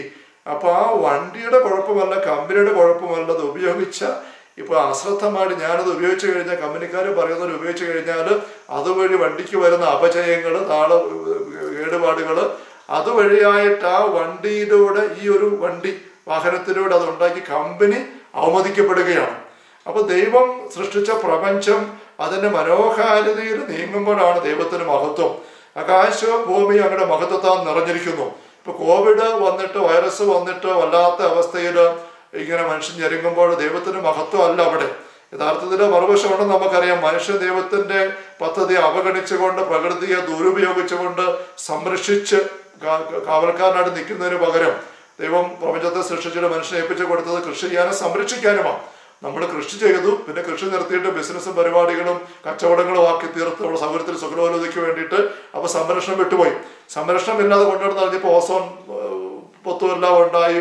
ഒരുപാട് വൈകല്യങ്ങൾ താളം തെറ്റലുകൾ പ്രളയങ്ങൾ ഓരോ വരൾച്ചകൾ ചൂട് കടുങ്കാറ്റുകൾ പൊല്യൂഷൻ എല്ലാം വന്ന് ജീവിക്കാൻ മേലാത്ത അവസ്ഥയൊക്കെ വന്നു കഴിഞ്ഞപ്പം തമ്പുരാൻ പ്രകൃതിക്കകത്ത് തന്നെ വെച്ച് ഒരു സിസ്റ്റം വെച്ചായിരിക്കാം ഇപ്പൊ ഇങ്ങനെ വൈറസ് പൊട്ടി പുറത്ത് വന്നിട്ട് എല്ലാവരും ഒന്ന് ഒതുക്കി. ഒരു രണ്ട് മൂന്ന് മാസക്കാലം ഈ പറഞ്ഞ നമ്മുടെ ദുരുപയോഗങ്ങളെല്ലാം ഓഫാക്കി. നമ്മളെല്ലാവരും ഇപ്പൊ തിരിച്ചറിയുന്ന കാര്യമാണ്. പൊല്യൂഷൻ എല്ലാം മാറി അന്തരീക്ഷം ക്ലിയർ ആയി നദികളൊക്കെ തെളിഞ്ഞു ആരോഗ്യം എല്ലാം മെച്ചപ്പെട്ടു. മനുഷ്യന്റെ ആരോഗ്യം പോലും കൊറോണ രോഗത്തിന്റെ ഒരു ജനക്കോഹനം അനേകം മരണങ്ങൾ സംഭവിക്കുന്നുണ്ട്. ദയനീയമായ അവസ്ഥയ്ക്ക് പോലും മറ്റനേക രോഗത്തിന്റെ അവസ്ഥകൾ പോലും സ്വസ്ഥമായി. മനുഷ്യന്റെ ജീവിതം ടൈം ടേബിൾഡ് ആയി സ്വസ്ഥമായി നല്ല ഭക്ഷണം വീട്ടിലുണ്ടെങ്കിൽ കഴിക്കാൻ തുടങ്ങി. അങ്ങനെ എല്ലാ രീതിയിലുള്ളൊരു ഒരു പ്യൂരിഫിക്കേഷൻ ഒരു ശുദ്ധീകരണം ഈ പ്രപഞ്ചത്തിൽ ആകപ്പാടെ വന്നിട്ടുണ്ട് എന്നുള്ള യാഥാർത്ഥ്യമാണ്. അപ്പൊ ഈ താളം തെറ്റി പ്രളയം വന്ന് അല്ലെങ്കിൽ വരൾച്ച ബാധിച്ച് കൊടുങ്കാറ്റ് ചുഴലിക്കാറ്റും ഉണ്ടായി ഭയങ്കരമായി കാറ്റടിച്ച് തിരമാലയെല്ലാം കരയിലേക്ക് അടിച്ചു കയറി ഇങ്ങനെയുള്ള താളനെറ്റിലൊക്കെ ആയിട്ട് പോകുന്ന ഒരു പ്രപഞ്ചം എന്ന് പറയുന്നത് ദൈവത്തിന് മഹത്വമല്ല. ദൈവത്തിന് മഹത്വമല്ല. ഹ്യൂമൻ ബീങ് ഫുള്ളി അലായും ജീവന്റെ നിറവോടുകൂടെ ആരോഗ്യത്തോടുകൂടെ ജീവിക്കുന്ന ചിന്തിക്കുന്ന പ്രവർത്തിക്കുന്ന സ്നേഹിക്കുന്ന അധ്വാനിക്കുന്ന ഒരു മനുഷ്യൻ ദൈവത്തിന്റെ മഹത്വമാണ്. അതേസമയം കള്ളു കുടിച്ച് അല്ലെങ്കിൽ ആരോഗ്യം നഷ്ടപ്പെടുത്തി ഇങ്ങനെ വൃത്തികേടും കാണിച്ചുകൊണ്ട് നടക്കുന്ന ഒരു വ്യക്തി തമ്പുരാനെ കൊഞ്ഞനം കാണിക്കുകയാണ്. തമ്പുരാൻ അത് കാണുമ്പോൾ നൊമ്പരമാണ്. ഞാൻ പറഞ്ഞില്ലേ കട്ട പുകയുമായി ഭയങ്കര സ്വർഗമൊക്കെ വെച്ച് കിടുങ്ങി കിടുങ്ങി വഴിയെ പോകുന്ന ഒരു മരുസസിക്ക് വണ്ടി ആ കമ്പനിക്കാർക്ക് തന്നെ അപമാനമാണ്. അപ്പം എന്ന് പറഞ്ഞ പോലെ ദൈവത്തിന് മഹത്വം നൽകാത്ത ജീവിതങ്ങൾ ദൈവത്തിന് മഹത്വം ആകുന്നില്ലാത്ത പുരയിടങ്ങൾ ദൈവത്തിന്റെ നാമം നിറഞ്ഞു നിൽക്കുന്നില്ലാത്ത വീടുകൾ ദൈവത്തിന്റെ കരുത്ത് ദൈവരാജ്യ അനുഭവം പങ്കുവയ്ക്കപ്പെടുന്നില്ലാത്തതായ കുടുംബങ്ങൾ വ്യക്തികൾ സമൂഹങ്ങൾ ഇതെല്ലാം ദൈവത്തിന്റെ നാമം അപമതിക്കപ്പെടുന്ന അവസരങ്ങളും രംഗങ്ങളുമാണ് എന്ന് നമുക്ക് തിരിച്ചറിയാനായിട്ട് സാധിക്കണം. ഈ രീതിയിൽ വേണം നമുക്ക് രണ്ടാം പ്രമാണത്തിന്റെ തരങ്ങൾ നമുക്ക് സമീപിക്കാനായിട്ട്. പ്രത്യേകിച്ച് നമ്മൾ ഈ ദിവസങ്ങൾ കണ്ടുവന്ന ഈ വിചിന്തനം നമ്മൾ സാമാന്യം വിശ വിശദമായ ഒരു വിചിന്തനത്തിലേക്ക് വിശുദ്ധാത്മാവും നമ്മളെ നയിച്ചു. അത് അത്ര മനോഹരമായിരിക്കും എന്ന് ഞാൻ തന്നെ തിരിച്ചറിയുകയാണ്. തമ്പുരാന്റെ വെളിപ്പെടുത്തലുകൾ നമ്മളെല്ലാവരും അറിയുന്നുണ്ട്. അത് നമുക്ക് ആദരവോടെ സ്വീകരിക്കാനായിട്ട് സാധിക്കട്ടെ. അപ്പോൾ നമ്മൾ ഇവിടെ പറഞ്ഞു വന്ന സൃഷ്ടി കൊണ്ട് നിർത്തിയ കാര്യങ്ങളിലേക്ക് ഇപ്പോൾ നമുക്കൊരു മൊത്തത്തിലുള്ള ഒരു ഒരു വിഷം നമുക്ക് എടുക്കേണ്ട ആവശ്യമുണ്ട്. കാരണം നമ്മൾ ഈ കാണുന്ന കാര്യങ്ങളൊന്നും ഒറ്റപ്പെട്ട കാര്യങ്ങളല്ല. ഇതെല്ലാം തമ്പുരാന്റെ ഒരൊറ്റ പദ്ധതിയുടെ രക്ഷാകര പദ്ധതി. അതിനു മുമ്പുള്ള ദൈവത്തിന്റെ മനുഷ്യന് വേണ്ടിയുള്ള ഈ സൃഷ്ടി സംവിധാനം. അതിന്റെ മുഴുവൻ ചിത്രങ്ങളാണ് നമുക്ക് ഈ കാര്യങ്ങളെല്ലാം ഉള്ളത്. പത്ത് പ്രമാണങ്ങൾ ഒറ്റ കാര്യത്തെ പറ്റി പറഞ്ഞ് നമ്മൾ കണ്ടു കഴിഞ്ഞ കാര്യമാണ്. അതിന്റെ ഓരോ പ്രമാണം കണ്ടു വരുമ്പോഴും പഴയ കാര്യത്തിലേക്ക് നമ്മുടെ ഉള്ളിൽ തിരിഞ്ഞ് ചേർന്ന് വരേണ്ടത് ഏതാണ്? നമ്മുടെ ദൈവോത്തര സ്ഥാനം സ്വർഗത്തിലേക്കുള്ള നമ്മുടെ തിരിച്ചുവരവ് സ്വർഗീയ അപ്പായിക്ക് ചേർന്ന മകനും മകളുമായിട്ട് മാറുക ആ സ്വർഗീയ പിതാവിന്റെ മക്കൾക്കടുത്ത കൂട്ടായ്മയിലേക്ക് നമ്മൾ വരിക ദൈവത്തിന്റെ നിലവാരത്തിന് ചേർന്ന ദൈവം സൃഷ്ടിച്ച പറഞ്ഞിട്ട് നന്നായിരിക്കുന്നു നന്നായിരിക്കുന്നു നന്നായിരിക്കുന്നു. അങ്ങനെ ദൈവം നന്നായിരിക്കുന്നു എന്ന് ഒപ്പുവെച്ച് ടിക്ക് ചെയ്ത് സർട്ടിഫൈ ചെയ്തതാണ് ഈ പ്രപഞ്ചത്തിന്റെ ഓരോ ഘടകവും ഓരോ കാര്യവും. അത് അതപ്പതിച്ചു പോയി ശവമുള്ളതായിട്ട് മാറി താടം തെറ്റിപ്പോയി. അതിനെല്ലാം വീണ്ടും പുനഃസ്ഥാപിച്ച് രൂപാന്തരപ്പെടുത്തി മനോഹരമാക്കി എടുക്കുക. ഈ ഒരു ഒറ്റ ചിന്ത ഒറ്റ കാര്യമാണ് നമ്മൾ ഈ ഒരു ധ്യാനത്തിലൂടെ. ഈ ഒരു ധ്യാനമല്ല സഹോദരങ്ങൾ ഏത് ധ്യാനത്തിലൂടെ നമുക്ക് വരേണ്ടത് അതാണ്. നമ്മൾ ധ്യാനം എന്നൊക്കെ പറയും പലപ്പോഴും നാല് ദിവസം അഞ്ച് ദിവസമൊക്കെ ആയിട്ട് പരിമിതപ്പെടുത്തുന്നത്. യഥാർത്ഥത്തിൽ അത് മതിയായിട്ടല്ല അതിനപ്പുറം ആവശ്യം അല്ല മറിച്ച് യഥാർത്ഥ നമ്മുടെ ജീവിതം മുഴുവൻ ഇങ്ങനെ ധ്യാനമായിട്ട് വരേണ്ടതാണ് നടക്കേണ്ട കാര്യം. പലപ്പോഴും ധ്യാനങ്ങൾ നടക്കുമ്പോൾ ഗൗരവമുള്ള ചില ധ്യാന ഗുരുക്കന്മാർ പറയും ധ്യാനം അവസാനിക്കുമ്പോൾ ധ്യാനം ഇപ്പം അവസാനിക്കുകയല്ല മറിച്ച് ധ്യാനം ആരംഭിക്കുകയാണ്. ഈ ദിവസങ്ങളിൽ നമ്മൾ ഒന്ന് ധ്യാനോന്മുഖമായി ദൈവത്തോട് ചേർന്ന് ജീവിക്കാനായിട്ട് പാളിച്ച വന്നും തടസ്സം വന്നും പോയ തലങ്ങളൊക്കെ തിരിച്ചറിഞ്ഞ് തിരുത്തിയെടുക്കാനുള്ള അവസരം ദൈവം നമുക്ക് തന്നു. ഈ മൂന്ന് ദിവസം നാല് ദിവസം അഞ്ച് ദിവസം അത് നമ്മൾ ധ്യാനമായിട്ട് ഇങ്ങനെ ഒരുമിച്ച് കൂടി നടത്തി. ഇപ്പൊ ധ്യാനം തീരും നമ്മൾ പിരിയുകയാണ്. പക്ഷേ തരത്തിൽ ധ്യാനം തീരുകയല്ല. നമ്മൾ യഥാർത്ഥമായ ധ്യാനത്തിലേക്ക് പ്രവേശിക്കുകയാണ് ഇപ്പോൾ എന്ന് തിരിച്ചറിയണം എന്ന് പലപ്പോഴും പല ധ്യാന ഗുരുക്കന്മാർ ധ്യാനം സമാപിക്കുമ്പോൾ ധ്യാനം ഞാൻ പറയുന്നത് ധ്യാനത്തിന്റെ ആ ഒരു സെഷൻ സമാപിക്ക് പറയാറുണ്ട്. എന്ന് വെച്ചാൽ യഥാർത്ഥത്തിൽ നമ്മൾ ധ്യാനിക്കേണ്ടത് ഈ രീതിയിലാണ്. പക്ഷെ നിരന്തരമായൊരു ധ്യാനം. ജീവിതം മുഴുവൻ ഒരു ധ്യാനമായിട്ട് മാറ്റാനായിട്ട് നമുക്ക് സാധിക്കണം. ഞാൻ അഞ്ച് വർഷം പഠിക്കാനായിട്ട് മൂന്ന് വർഷം രണ്ട് വർഷം ആദ്യം ബാംഗ്ലൂർക്ക് അങ്ങനെ വിട്ടു. പിന്നെ മൂന്ന് വർഷം പിതാവ് എനിക്ക് അനുവദിച്ച് തന്നു. അഞ്ച് വർഷം പഠിക്കാനായിട്ട് പോയപ്പോൾ അൻപതാം വയസ്സിലാണ് പോകുന്നത്. അപ്പോൾ അവിടെ ഈ ക്ലാസ്സും പഠിത്തവും ഒക്കെ ഇട്ടിരുന്നപ്പോൾ ശുശ്രൂഷകളൊന്നുമില്ല. ഞായറാഴ്ച കുർബാനയില്ല ഇടവകര ചുമതലയില്ല. അപ്പോൾ ശുശ്രൂഷയൊന്നും ചെയ്യാതെ അഞ്ച് വർഷക്കാലം അങ്ങ് താമസിക്കേണ്ടി വന്നപ്പോൾ ആ അനുഭവം എങ്ങനെയായിരുന്നു? ശ്വാസം മുട്ടുകയില്ല ചിലപ്പോൾ ചില സുഹൃത്തുക്കൾ ചോദിക്കാറുണ്ട്. അപ്പോൾ ഞാനതേപ്പറ്റി ചിന്തിക്കുമ്പോൾ ഞാൻ എടുത്തത് യഥാർത്ഥത്തിൽ ഈ അഞ്ച് വർഷക്കാർ അത് രണ്ട് വർഷം ഒരു രണ്ട് വർഷത്തിൽ ഒറ്റ ധ്യാനമായിട്ട് കിടക്കാനായിട്ട് പ്രേരണ എനിക്ക് കിട്ടി. രണ്ട് വർഷം കൂടെ ഒരു ധ്യാനം. സ്പിരിച്വൽ തിയോളജിയാണ് ആത്മീയ ദൈവശാസ്ത്രമാണ് പഠിക്കുന്നത്. അപ്പോൾ അങ്ങനത്തെ കാര്യങ്ങളൊക്കെ കേൾക്കുന്ന കുറച്ച് പഠന മേഖലയിലാണ്. എങ്കിൽ പോലും തരത്തിലാണ് ചിന്തകളും ചിന്തകളൊക്കെ വരുന്നെങ്കിൽ പോലും ആത്മീയ കാര്യങ്ങളാണ് കേൾക്കുന്നതും വായിക്കുന്നതും പഠിക്കുന്നതും എല്ലാം. അപ്പോൾ അത് ഓരോന്നും കേട്ടും ഇരുന്നും ആഴ്ച ഒരു ദിവസം പ്രാർത്ഥനയ്ക്ക് വേണ്ടി മാത്രം മാറ്റിവെച്ചു. അങ്ങനെ ഒരു രണ്ട് വർഷത്തെ ധ്യാനം നടത്താനായിട്ട് തീരുമാനിച്ച് ഞാനങ്ങ് പോയി. അത് അങ്ങനെ അങ്ങ് നടത്തി. അത് കഴിഞ്ഞ് മൂന്ന് വർഷം കിട്ടിയപ്പം അത് ധ്യാനം വീണ്ടും തുടർന്നു. അപ്പോൾ അഞ്ച് വർഷത്തെ ഒരു ധ്യാനം നടത്തിയ ഒരു അനുഭവമായിരുന്നു എനിക്ക് അഞ്ച് വർഷത്തെ പഠനം വഴി ലഭിച്ചത് എന്ന് ചിലപ്പോൾ എന്റെ ചില സുഹൃത്തുക്കൾ പറയാറുണ്ട്. അത് അഞ്ച് വർഷം മാത്രമല്ല സ്നേഹമുള്ള സഹോദരൻ നമ്മുടെ ജീവിതം മുഴുവനും ഒരൊറ്റ ധ്യാനമായിട്ട് പോകേണ്ടതാണ്. ദൈവത്തിന്റെ സാന്നിധ്യം നമ്മുടെ ജീവിതത്തിലും ഹൃദയത്തിലും വീട്ടിലും പറമ്പിലും ദൈവ ദൈവത്തിന്റെ ആലയത്തിലും ദൈവത്തിന്റെ പ്രത്യേകമായി പ്രതിഷ്ഠിതമായിരിക്കുന്ന കാര്യങ്ങളിലും ദൈവ വചനത്തിലും വിശുദ്ധരുടെ ജീവിതങ്ങളിലും വിശുദ്ധ അമ്മയുടെയും വിശുദ്ധ അന്തോനീസിന്റെ മാധവൻ അന്തോനീസിന്റെ തിരുശരവും നമ്മൾ പ്രത്യേകമായിട്ട് വെച്ചിട്ടുണ്ട്. എനിക്ക് ഒത്തിരി ഇഷ്ടപ്പെട്ട വിശുദ്ധനാണ്. അപ്പോൾ ആ വിശുദ്ധൻ ഇങ്ങനെയുള്ള വിശുദ്ധന് ഈശ്വര വെളിപ്പെട്ട കാര്യങ്ങൾ ഇതിലേക്കെല്ലാം നമ്മുടെ ഉള്ളു നിരന്തരം ചേർത്ത് ധ്യാനിച്ച് അങ്ങനെ ഓരോ ദിവസവും നമുക്ക് ജീവിക്കാനായിട്ട് സാധിക്കേണ്ടതാണ്. അങ്ങനെയാണ് നമ്മൾ ജീവിതം മുന്നോട്ട് നീങ്ങേണ്ടത്. അങ്ങനെ നമ്മൾ ജീവിക്കുമ്പോഴാണ് നമ്മുടെ ജീവിതം ദൈവത്തിന് മഹത്വമുള്ളതായിട്ട് ഭവിക്കുക നമ്മൾ തിരിച്ചറിയണം. അതുകൊണ്ട് നമ്മൾ ഈ ഒരു ചിത്രത്തിലേക്ക് വന്നപ്പോൾ ഞാൻ കഴിഞ്ഞ സെഷൻ ജെറിക്കോ പ്രാർത്ഥനയെക്കുറിച്ച് കുറിച്ച് പറയുകയുണ്ടായി. അതിന് ആമുഖമായിട്ട് കുറച്ച് കാര്യങ്ങൾ പറഞ്ഞ അനുഭവങ്ങൾ പങ്കുവെച്ചു. പ്രാർത്ഥന കരുത്ത് എന്താണ്?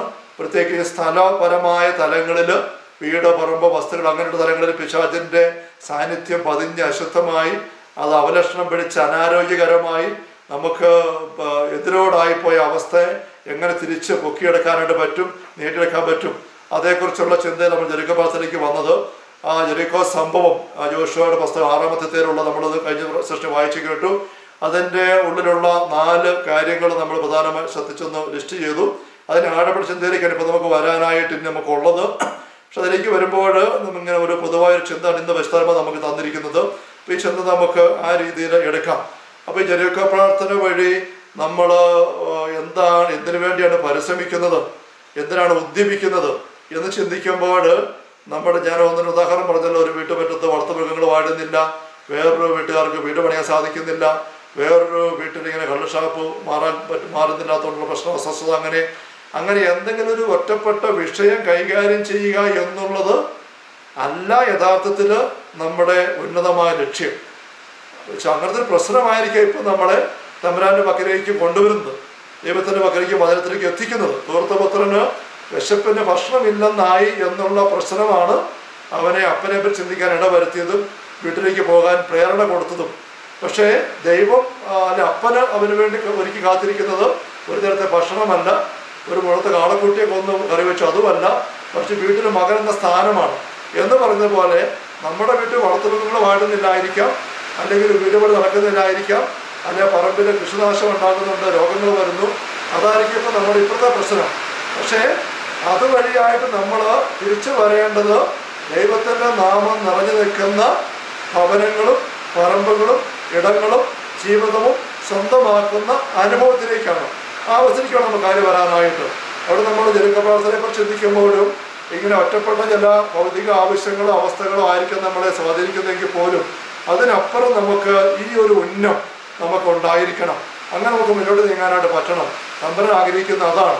സുഹൃത്തുപുത്രന്റെ അപ്പൻ അവന് വേണ്ടി കാത്തിരിക്കുന്നത് തന്റെ സംഘത്തോട് ചേർത്ത് അവനെ പിടിക്കാൻ വേണ്ടിയിട്ടാണ്.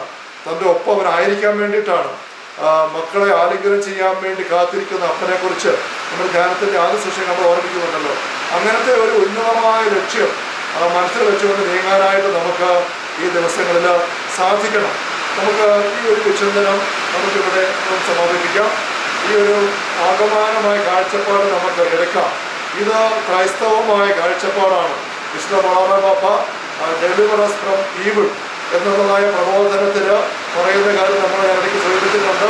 നമുക്ക് എല്ലാവർക്കും ഒരു ക്രൈസ്തവമായ കാഴ്ചപ്പാട് വേണം നമ്മുടെ ജീവിതത്തെക്കുറിച്ച് ഈ പ്രപഞ്ചത്തെക്കുറിച്ച് സ്വർഗത്തെക്കുറിച്ച് മുക്തിയെക്കുറിച്ച് അപ്പോഴാണ് നമ്മൾ ആയിരിക്കുന്ന പോലെ ആയിത്തീരുക സഹോദര സഹോദരങ്ങളെ നമുക്ക് നമ്മുടെ കുടുംബങ്ങളെ ഈ ഒരു പ്രാർത്ഥന ചിന്തയോടെ കൂടി ഗുരുകാരണ സന്നിധിയിൽ ചേർക്കാം.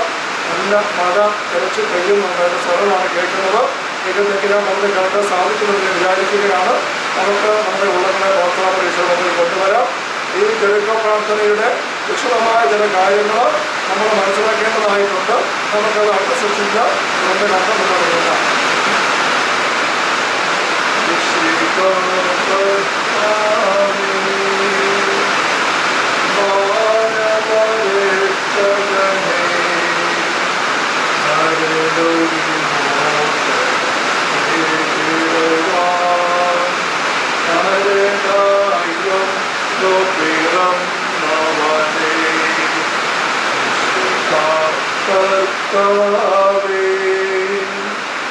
മാലാകമാരുത്തു ഞങ്ങൾ പാടിപ്പുകഴ്ത്തുന്നു നിന്നെ. മാലാകമാരുത്തു ഞങ്ങൾ പാടിപ്പുകഴ്ത്തുന്നു നിന്നെ. പരിശുദ്ധൻ പരിശുദ്ധൻ. കർത്താവേ നീ പരിശുദ്ധൻ പരിശുദ്ധൻ പരിശുദ്ധൻ. കർത്താവേ നീ പരിശുദ്ധൻ. കർത്താവേ. പരിശുദ്ധ പരമാ ദിവ്യകാരുണ്യത്തിന് നേരവും ആരാധനയും സ്തുതിയും പുകഴ്ചയും ഉണ്ടായിരിക്കട്ടെ പരിശുദ്ധ പരമ ദിവ്യകാരുണ്യത്തിന് നേരവും ആരാധനയും സ്തുതിയും പുകഴ്ചയും ഉണ്ടായിരിക്കട്ടെ. പരിശുദ്ധ പരമ ദിവ്യകാരുണ്യ ഈശോയ്ക്ക് നേരവും ആരാധനയും സ്തുതിയും പുകഴ്ചയും ഉണ്ടായിരിക്കട്ടെ. തിരുവാസ്തരൂപനായി നിങ്ങളുടെ മധ്യത്തിലേക്ക് കടന്നു വരുന്ന ഈശോയെ ഞങ്ങൾ അങ്ങേ കൊമ്പിട്ട് ആരാധിക്കുന്നു അങ്ങ് ഞങ്ങൾ സ്തുതിക്കുന്നു. അങ്ങ് ഞങ്ങൾക്ക് നൽകിയിരിക്കുന്ന ഞങ്ങളുടെ വാസസ്ഥലങ്ങളിലേക്ക് മുറിയിലേക്ക് ഭവനത്തിലേക്ക് ഈ സ്ഥലങ്ങളിലേക്ക് അങ്ങ് ഞങ്ങൾ ഹൃദയപൂർവം സ്വാഗതം ചെയ്യുന്നു. കർത്താവ് അങ്ങയുടെ സ്ഥിര സാന്നിധ്യം കൊണ്ട് ഞങ്ങളുടെ ഉള്ളങ്ങളെ നിറയ്ക്കണമേ. ഞങ്ങളിൽ നിറയുന്ന ഞങ്ങളുടെ തിരുസാന്നിധ്യം കൊണ്ട് ഞങ്ങളുടെ ഈ മുറികളും ഈ വീടുകളും ഈ പറമ്പുകളും എല്ലാം നിറയാൻ ഇടവരട്ടെ. കർത്താവ് രണ്ടാം പ്രമാണത്തിന്റെ പശ്ചാത്തലത്തിൽ അങ്ങ് നൽകുന്ന വചന വെളിപ്പെടുത്തലുകൾ എല്ലാ ഞങ്ങൾ അങ്ങേക്ക് നന്ദി പറയുന്നു. ഹൃദയപൂർവം ഞങ്ങളത് സ്വീകരിക്കുന്നു. അങ്ങയുടെ തിരുനാമത്തിന് ഞങ്ങളുടെ ദൈവത്തിൽ മഹത്വം ഉണ്ടാകുവാൻ ഇതാവി അങ്ങയുടെ നാമം പൂജിതമാകണമേ എന്ന് നിങ്ങൾ ആവശ്യപ്പെട്ടല്ലോ. സ്വർഗത്തിൽ അങ്ങയുടെ നാമത്തിന് ബഹുമാനം ഉണ്ടാകുവാനല്ല ഈ ഭൂമി ഞങ്ങളുടെ ജീവിതങ്ങളിൽ ഞങ്ങളുടെ വാസ ഇടങ്ങളിൽ വാസസ്ഥലങ്ങളിൽ ഈ പ്രപഞ്ചം മുഴുവനിലും അങ്ങയുടെ തിരുനാമം ബഹുമാനിതമാകണം എന്നാണല്ലോ ഈശോ അതുവഴി അങ്ങ് ഞങ്ങളെ പഠിപ്പിച്ചത്. സുഹൃത്തുപുത്രന്റെ ഉപമയിൽ അങ്ങ് പറഞ്ഞല്ലോ അവന്റെ ഉള്ളിൽ അപ്പന്റെ നാമത്തിന് അപ്പന്റെ സാന്നിധ്യത്തിന് അപ്പന്റെ തിരു വ്യക്തിത്വത്തിന് ബഹുമാനമില്ല ആദരവില്ല. അതിന് പകരം അവജ്ഞയും പുച്ഛവും കയറി അവിടെയാണ് തൂർത്തന്റെ തകർച്ച ആരംഭിച്ചത് എന്ന് പിന്നീട് അവൻ നന്ദിക്കുട്ടി കിടക്കുമ്പോൾ അപ്പനെ കുറിച്ച് അവന് ബഹുമാനത്തിന് ചിന്ത വരുന്നു. ഞാൻ എന്റെ പിതാവിന്റെ ഭവനത്തിലേക്ക് പോകും. ആ പിതാവിനെ കുറിച്ച് പിതാവിന്റെ ഭവനത്തെ കുറിച്ച് ഒരു ആദരവുണ്ടായി ആഗ്രഹമുണ്ടായി ഇഷ്ടമുണ്ടായി ബഹുമാനമുണ്ടായി. അവിടെയാണ് അവന് സ്വബോധം തെളിയുന്നതായിട്ട് അങ്ങ് പറയുന്നത് ഈശോയെ. ആ നിമിഷത്തിലാണ് തിരിച്ചുവരാനായിട്ട് തിരിച്ചു വരാനായിട്ട് സാധിക്കുന്നത്. അവിടെ ഞങ്ങളുടെ ജീവിതങ്ങളിലും കുടുംബങ്ങളിലും ഭവനങ്ങളിലും വസ്തുക്കളിലും എല്ലാം അങ്ങയുടെ നാമം നിറഞ്ഞു നിൽക്കുന്ന ഒരവസ്ഥ അതുണ്ടാക്കുമ്പോഴാണ് ഞങ്ങൾ അങ്ങയുടെ പദ്ധതി അനുസരിച്ച് ജീവിക്കുന്നവരായിട്ട് മാറുക. അങ്ങ് ജീവന്റെ നിറവാണല്ലോ ഈശോയെ. ഞങ്ങൾ ജീവന്റെ നിറവോടുകൂടെ human being fully alive is the glory of God ദൈവത്തിന് മഹത്വമാകുന്ന ഞങ്ങൾ അങ്ങ് ഞങ്ങളെ എങ്ങനെ സംവിധാനം ചെയ്താലും ഞങ്ങൾ ജീവിക്കുമ്പോഴാണ് ഒരു വാഹനം കമ്പനിക്കാർ ഏതിന് സംവിധാനം ചെയ്തോ അതിന്റെ നിറവോടുകൂടി അനേക വർഷങ്ങൾ നിരത്തുകളിൽ ഓടുമ്പോൾ ആ കമ്പനിക്കാർക്ക് അത് മഹത്വമായിട്ട് ഭവിക്കുന്നു. അല്ലാതെ അത് കേടുപാട് പിടിച്ച് വല്ലാണ്ടായി കിടന്നാൽ ആ കമ്പനിക്ക് അപമാനമായിട്ട് ഭവിക്കുന്നത് പോലെ കർത്താവ് അങ്ങയുടെ നാമത്തിന്റെ കരുത്ത് അങ്ങയുടെ പരിപാലനയുടെ വൈഭവം അങ്ങയുടെ സ്നേഹത്തിന്റെ നിറവ് ഞങ്ങളുടെ വ്യക്തി ജീവിതങ്ങളിലും ഞങ്ങളുടെ കുടുംബങ്ങളിലും ഞങ്ങളുടെ വീടുകളിലും ഈ ഭൂലോക ഭൂതലം മുഴുവനിലും അനുഭവവേദ്യമാകുമ്പോഴാണല്ലോ അങ്ങയുടെ നാമം ഈ ഭൂമിയുടെ ഭൂമി ഭൂമിയിൽ ഭൂമി നിറഞ്ഞ് അങ്ങേക്ക് സുധീരമാകുന്ന നിറഞ്ഞിരിക്കുന്നു. ഞങ്ങൾക്ക് പ്രഘോഷിക്കാനായിട്ട് സാധിക്കുക. കർത്താവായ ദൈവമേ രണ്ടാം പ്രമാണത്തിൽ അങ്ങ് അനുശാസിക്കുന്ന. ആഴപ്പെട്ട കാര്യങ്ങൾ ഞങ്ങൾക്ക് പറഞ്ഞു തരുന്നതിനോട് ഞങ്ങൾ നന്ദി പറയുന്നു. കർത്താവ് അങ്ങ് പറഞ്ഞു തരുന്ന ഒരു കാര്യം അവഗണിക്കാതെ അതിന് ഉത്തരം കൊടുത്തുകൊണ്ട് അങ്ങേ അനുഗമിക്കുവാനും അങ്ങ് ആഗ്രഹിക്കുന്നവർ ഞങ്ങളുടെ ജീവിതം ക്രമീകരിക്കണം ചുമതല ഞങ്ങൾക്കുണ്ടല്ലോ. യാക്കോബ് അങ്ങയുടെ വെളിപ്പെടുത്തൽ അങ്ങ് ലഭിച്ചു കഴിഞ്ഞപ്പോൾ അതിനെ അവഗണിച്ചില്ല. ഒരു കല്ലും ഇച്ചിരി എണ്ണയും മാത്രമേ കയ്യിൽ ഉണ്ടായിരുന്നുള്ളൂ എങ്കിലും അത് ഉപയോഗിച്ച് യാക്കോബ് അങ്ങേക്ക് ആന്തരം അർപ്പിച്ചു. അങ്ങനെ ബഥേൽ ആയിട്ട് ആ സ്ഥലം മാറി. ദൈവത്തിന് നാം പതി ഇടമായിട്ട് അത് ഭവിക്കുന്നു. ദൈവമേ അങ്ങ് ഞങ്ങൾ പങ്കുവെച്ച ഓരോ വചനത്തോട് ഇതുപോലെ പ്രതികരിച്ചുകൊണ്ട് അങ്ങയുടെ നാമത്തിന് ബഹുമാനം അർപ്പിച്ചുകൊണ്ട് ജീവിക്കാൻ. അതുവഴി ഞങ്ങളുടെ കുടുംബങ്ങളും പറമ്പുകളും ജീവിത മേഖലകളെല്ലാം അങ്ങയുടെ പദ്ധതിക്ക് അനുസരിച്ച് സമൃദ്ധിയുടെ ഇടം ജീവന്റെ നിറവുള്ള ഇടങ്ങളായിട്ട് മാറാൻ ഇട വരട്ടെ കർത്താവായ ദൈവമേ അങ്ങയുടെ തിരുപരിപാലനയ്ക്കായിട്ട് ഞങ്ങൾ ഞങ്ങളെ തന്നെ സമ്പൂർണമായിട്ട് വിട്ടുതരുന്നു. പശുദ്ധി അമ്മേ അവിടെ വിവരഹൃദയത്തിലേക്ക് ഞങ്ങൾ തന്നെ പുതുക്കി പ്രതിഷ്ഠിക്കുന്നു. ഞങ്ങളുടെ കുടുംബങ്ങളെ ഭവനങ്ങളെ ഉൾപ്പെടെ. കർത്താവായ ദൈവവ്യവസ്ഥ കത്തോലിക്ക സഭയിലെ എളിയ ദാസനെ കനിഞ്ഞു നൽകിയ ശുശ്രൂഷ പൗരോഗത്തിന്റെ അഭിഷേക അധികാരം അനുസരിച്ചും പാലാ രൂപതയുടെ വാഗോൺ മണ്ഡലം ധ്യാന കേന്ദ്രത്തിൽ നിയമനാധികാരം അനുസരിച്ചും അങ്ങയുടെ ദീപികാരുടെ സാന്നിധ്യം തിരു സാന്നിധ്യം കരങ്ങളിൽ സംഭവിച്ചുകൊണ്ട് ഈശോയെ ഈ മക്കളുടെ മേൽ അങ്ങയുടെ ആശീർവാദ ദാസം നൽകുന്നു. അങ്ങയുടെ ആശീർവാദമാണല്ലോ അത്. അങ്ങ് പങ്കുവച്ച വചനങ്ങളെ മക്കൾ തുറവയോടെ സ്വീകരിച്ച് ശിശുഭാവത്തിൽ അത് ഉള്ളിലേക്ക് എടുത്തുകൊണ്ട് അതനുസരിച്ച് ജീവിതത്തെ അതനുസരിച്ച് ജീവിതത്തെ ക്രമീകരിക്കാൻ നവീകരിക്കാനും അവർ അങ്ങ് അവർക്ക് നൽകിയിരിക്കുന്ന ജീവിത മേഖലകളെ വിശുദ്ധീകരിക്കാനുള്ള ആഗ്രഹവുമായിട്ട് നിൽക്കുമ്പോൾ അതിനാവശ്യമായ കൃപയുടെ കരുത്ത് മക്കൾക്ക് ആശീർവാദം ലഭിക്കാനായിട്ട് വരട്ടെ കർത്താവ് ഈശോമിശികാട് സമർത്ഥമായ കൃപയും അനുഗ്രഹങ്ങളും പിതാവായ ദൈവത്തിന്റെ അവർണനീയമായ സ്നേഹവും പശുധാത്മാവായ ദൈവത്തിന്റെ നിരന്തരമായ സാന്നിധ്യ സഹവാസ സഹായ സംരക്ഷണവും രഹമുള്ള സഹോദരങ്ങളെ നാം ഓരോരുത്തരോടും കൂടെ നമ്മുടെ എല്ലാ പ്രിയപ്പെട്ടവരോടും നിയോഗ മേഖലകളോടും ഭവനങ്ങളോടും വസ്തുവകകളോടും കൂടെ ഉണ്ടായിരിക്കട്ടെ. വളരെ പ്രത്യേകമായി ഈ ശുശ്രൂഷയ്ക്ക് വേണ്ടി മാസപ്രാർത്ഥന നടത്തി ത്യാഗങ്ങൾ സമർപ്പിച്ചായിരിക്കുന്ന ഓരോ വ്യക്തികളും നൂറ് ഇരട്ടിയായിട്ടും വന്ന് നിറയട്ടെ. ഇപ്പോഴും എപ്പോഴും എന്നേക്കും. അമ്മേൻ പരിശുദ്ധ പരമാ ദിവ്യകാരുണ്യത്തിന് എന്നേരവും ആരാധനയും സ്തുതിയും പുകഴ്ചയും ഉണ്ടായിരിക്കട്ടെ. പരിശുദ്ധ പരമാ ദിവ്യകാരുണ്യത്തിന് എന്നേരവും ആരാധനയും സ്തുതിയും പുകഴ്ചയും ഉണ്ടായിരിക്കട്ടെ. പരിശുദ്ധ പരമാ ദിവ്യകാരുണ്യ ഈശോയ്ക്ക് എന്നേരവും ആരാധനയും സ്തുതിയും പുകഴ്ചയും ഉണ്ടായിരിക്കട്ടെ.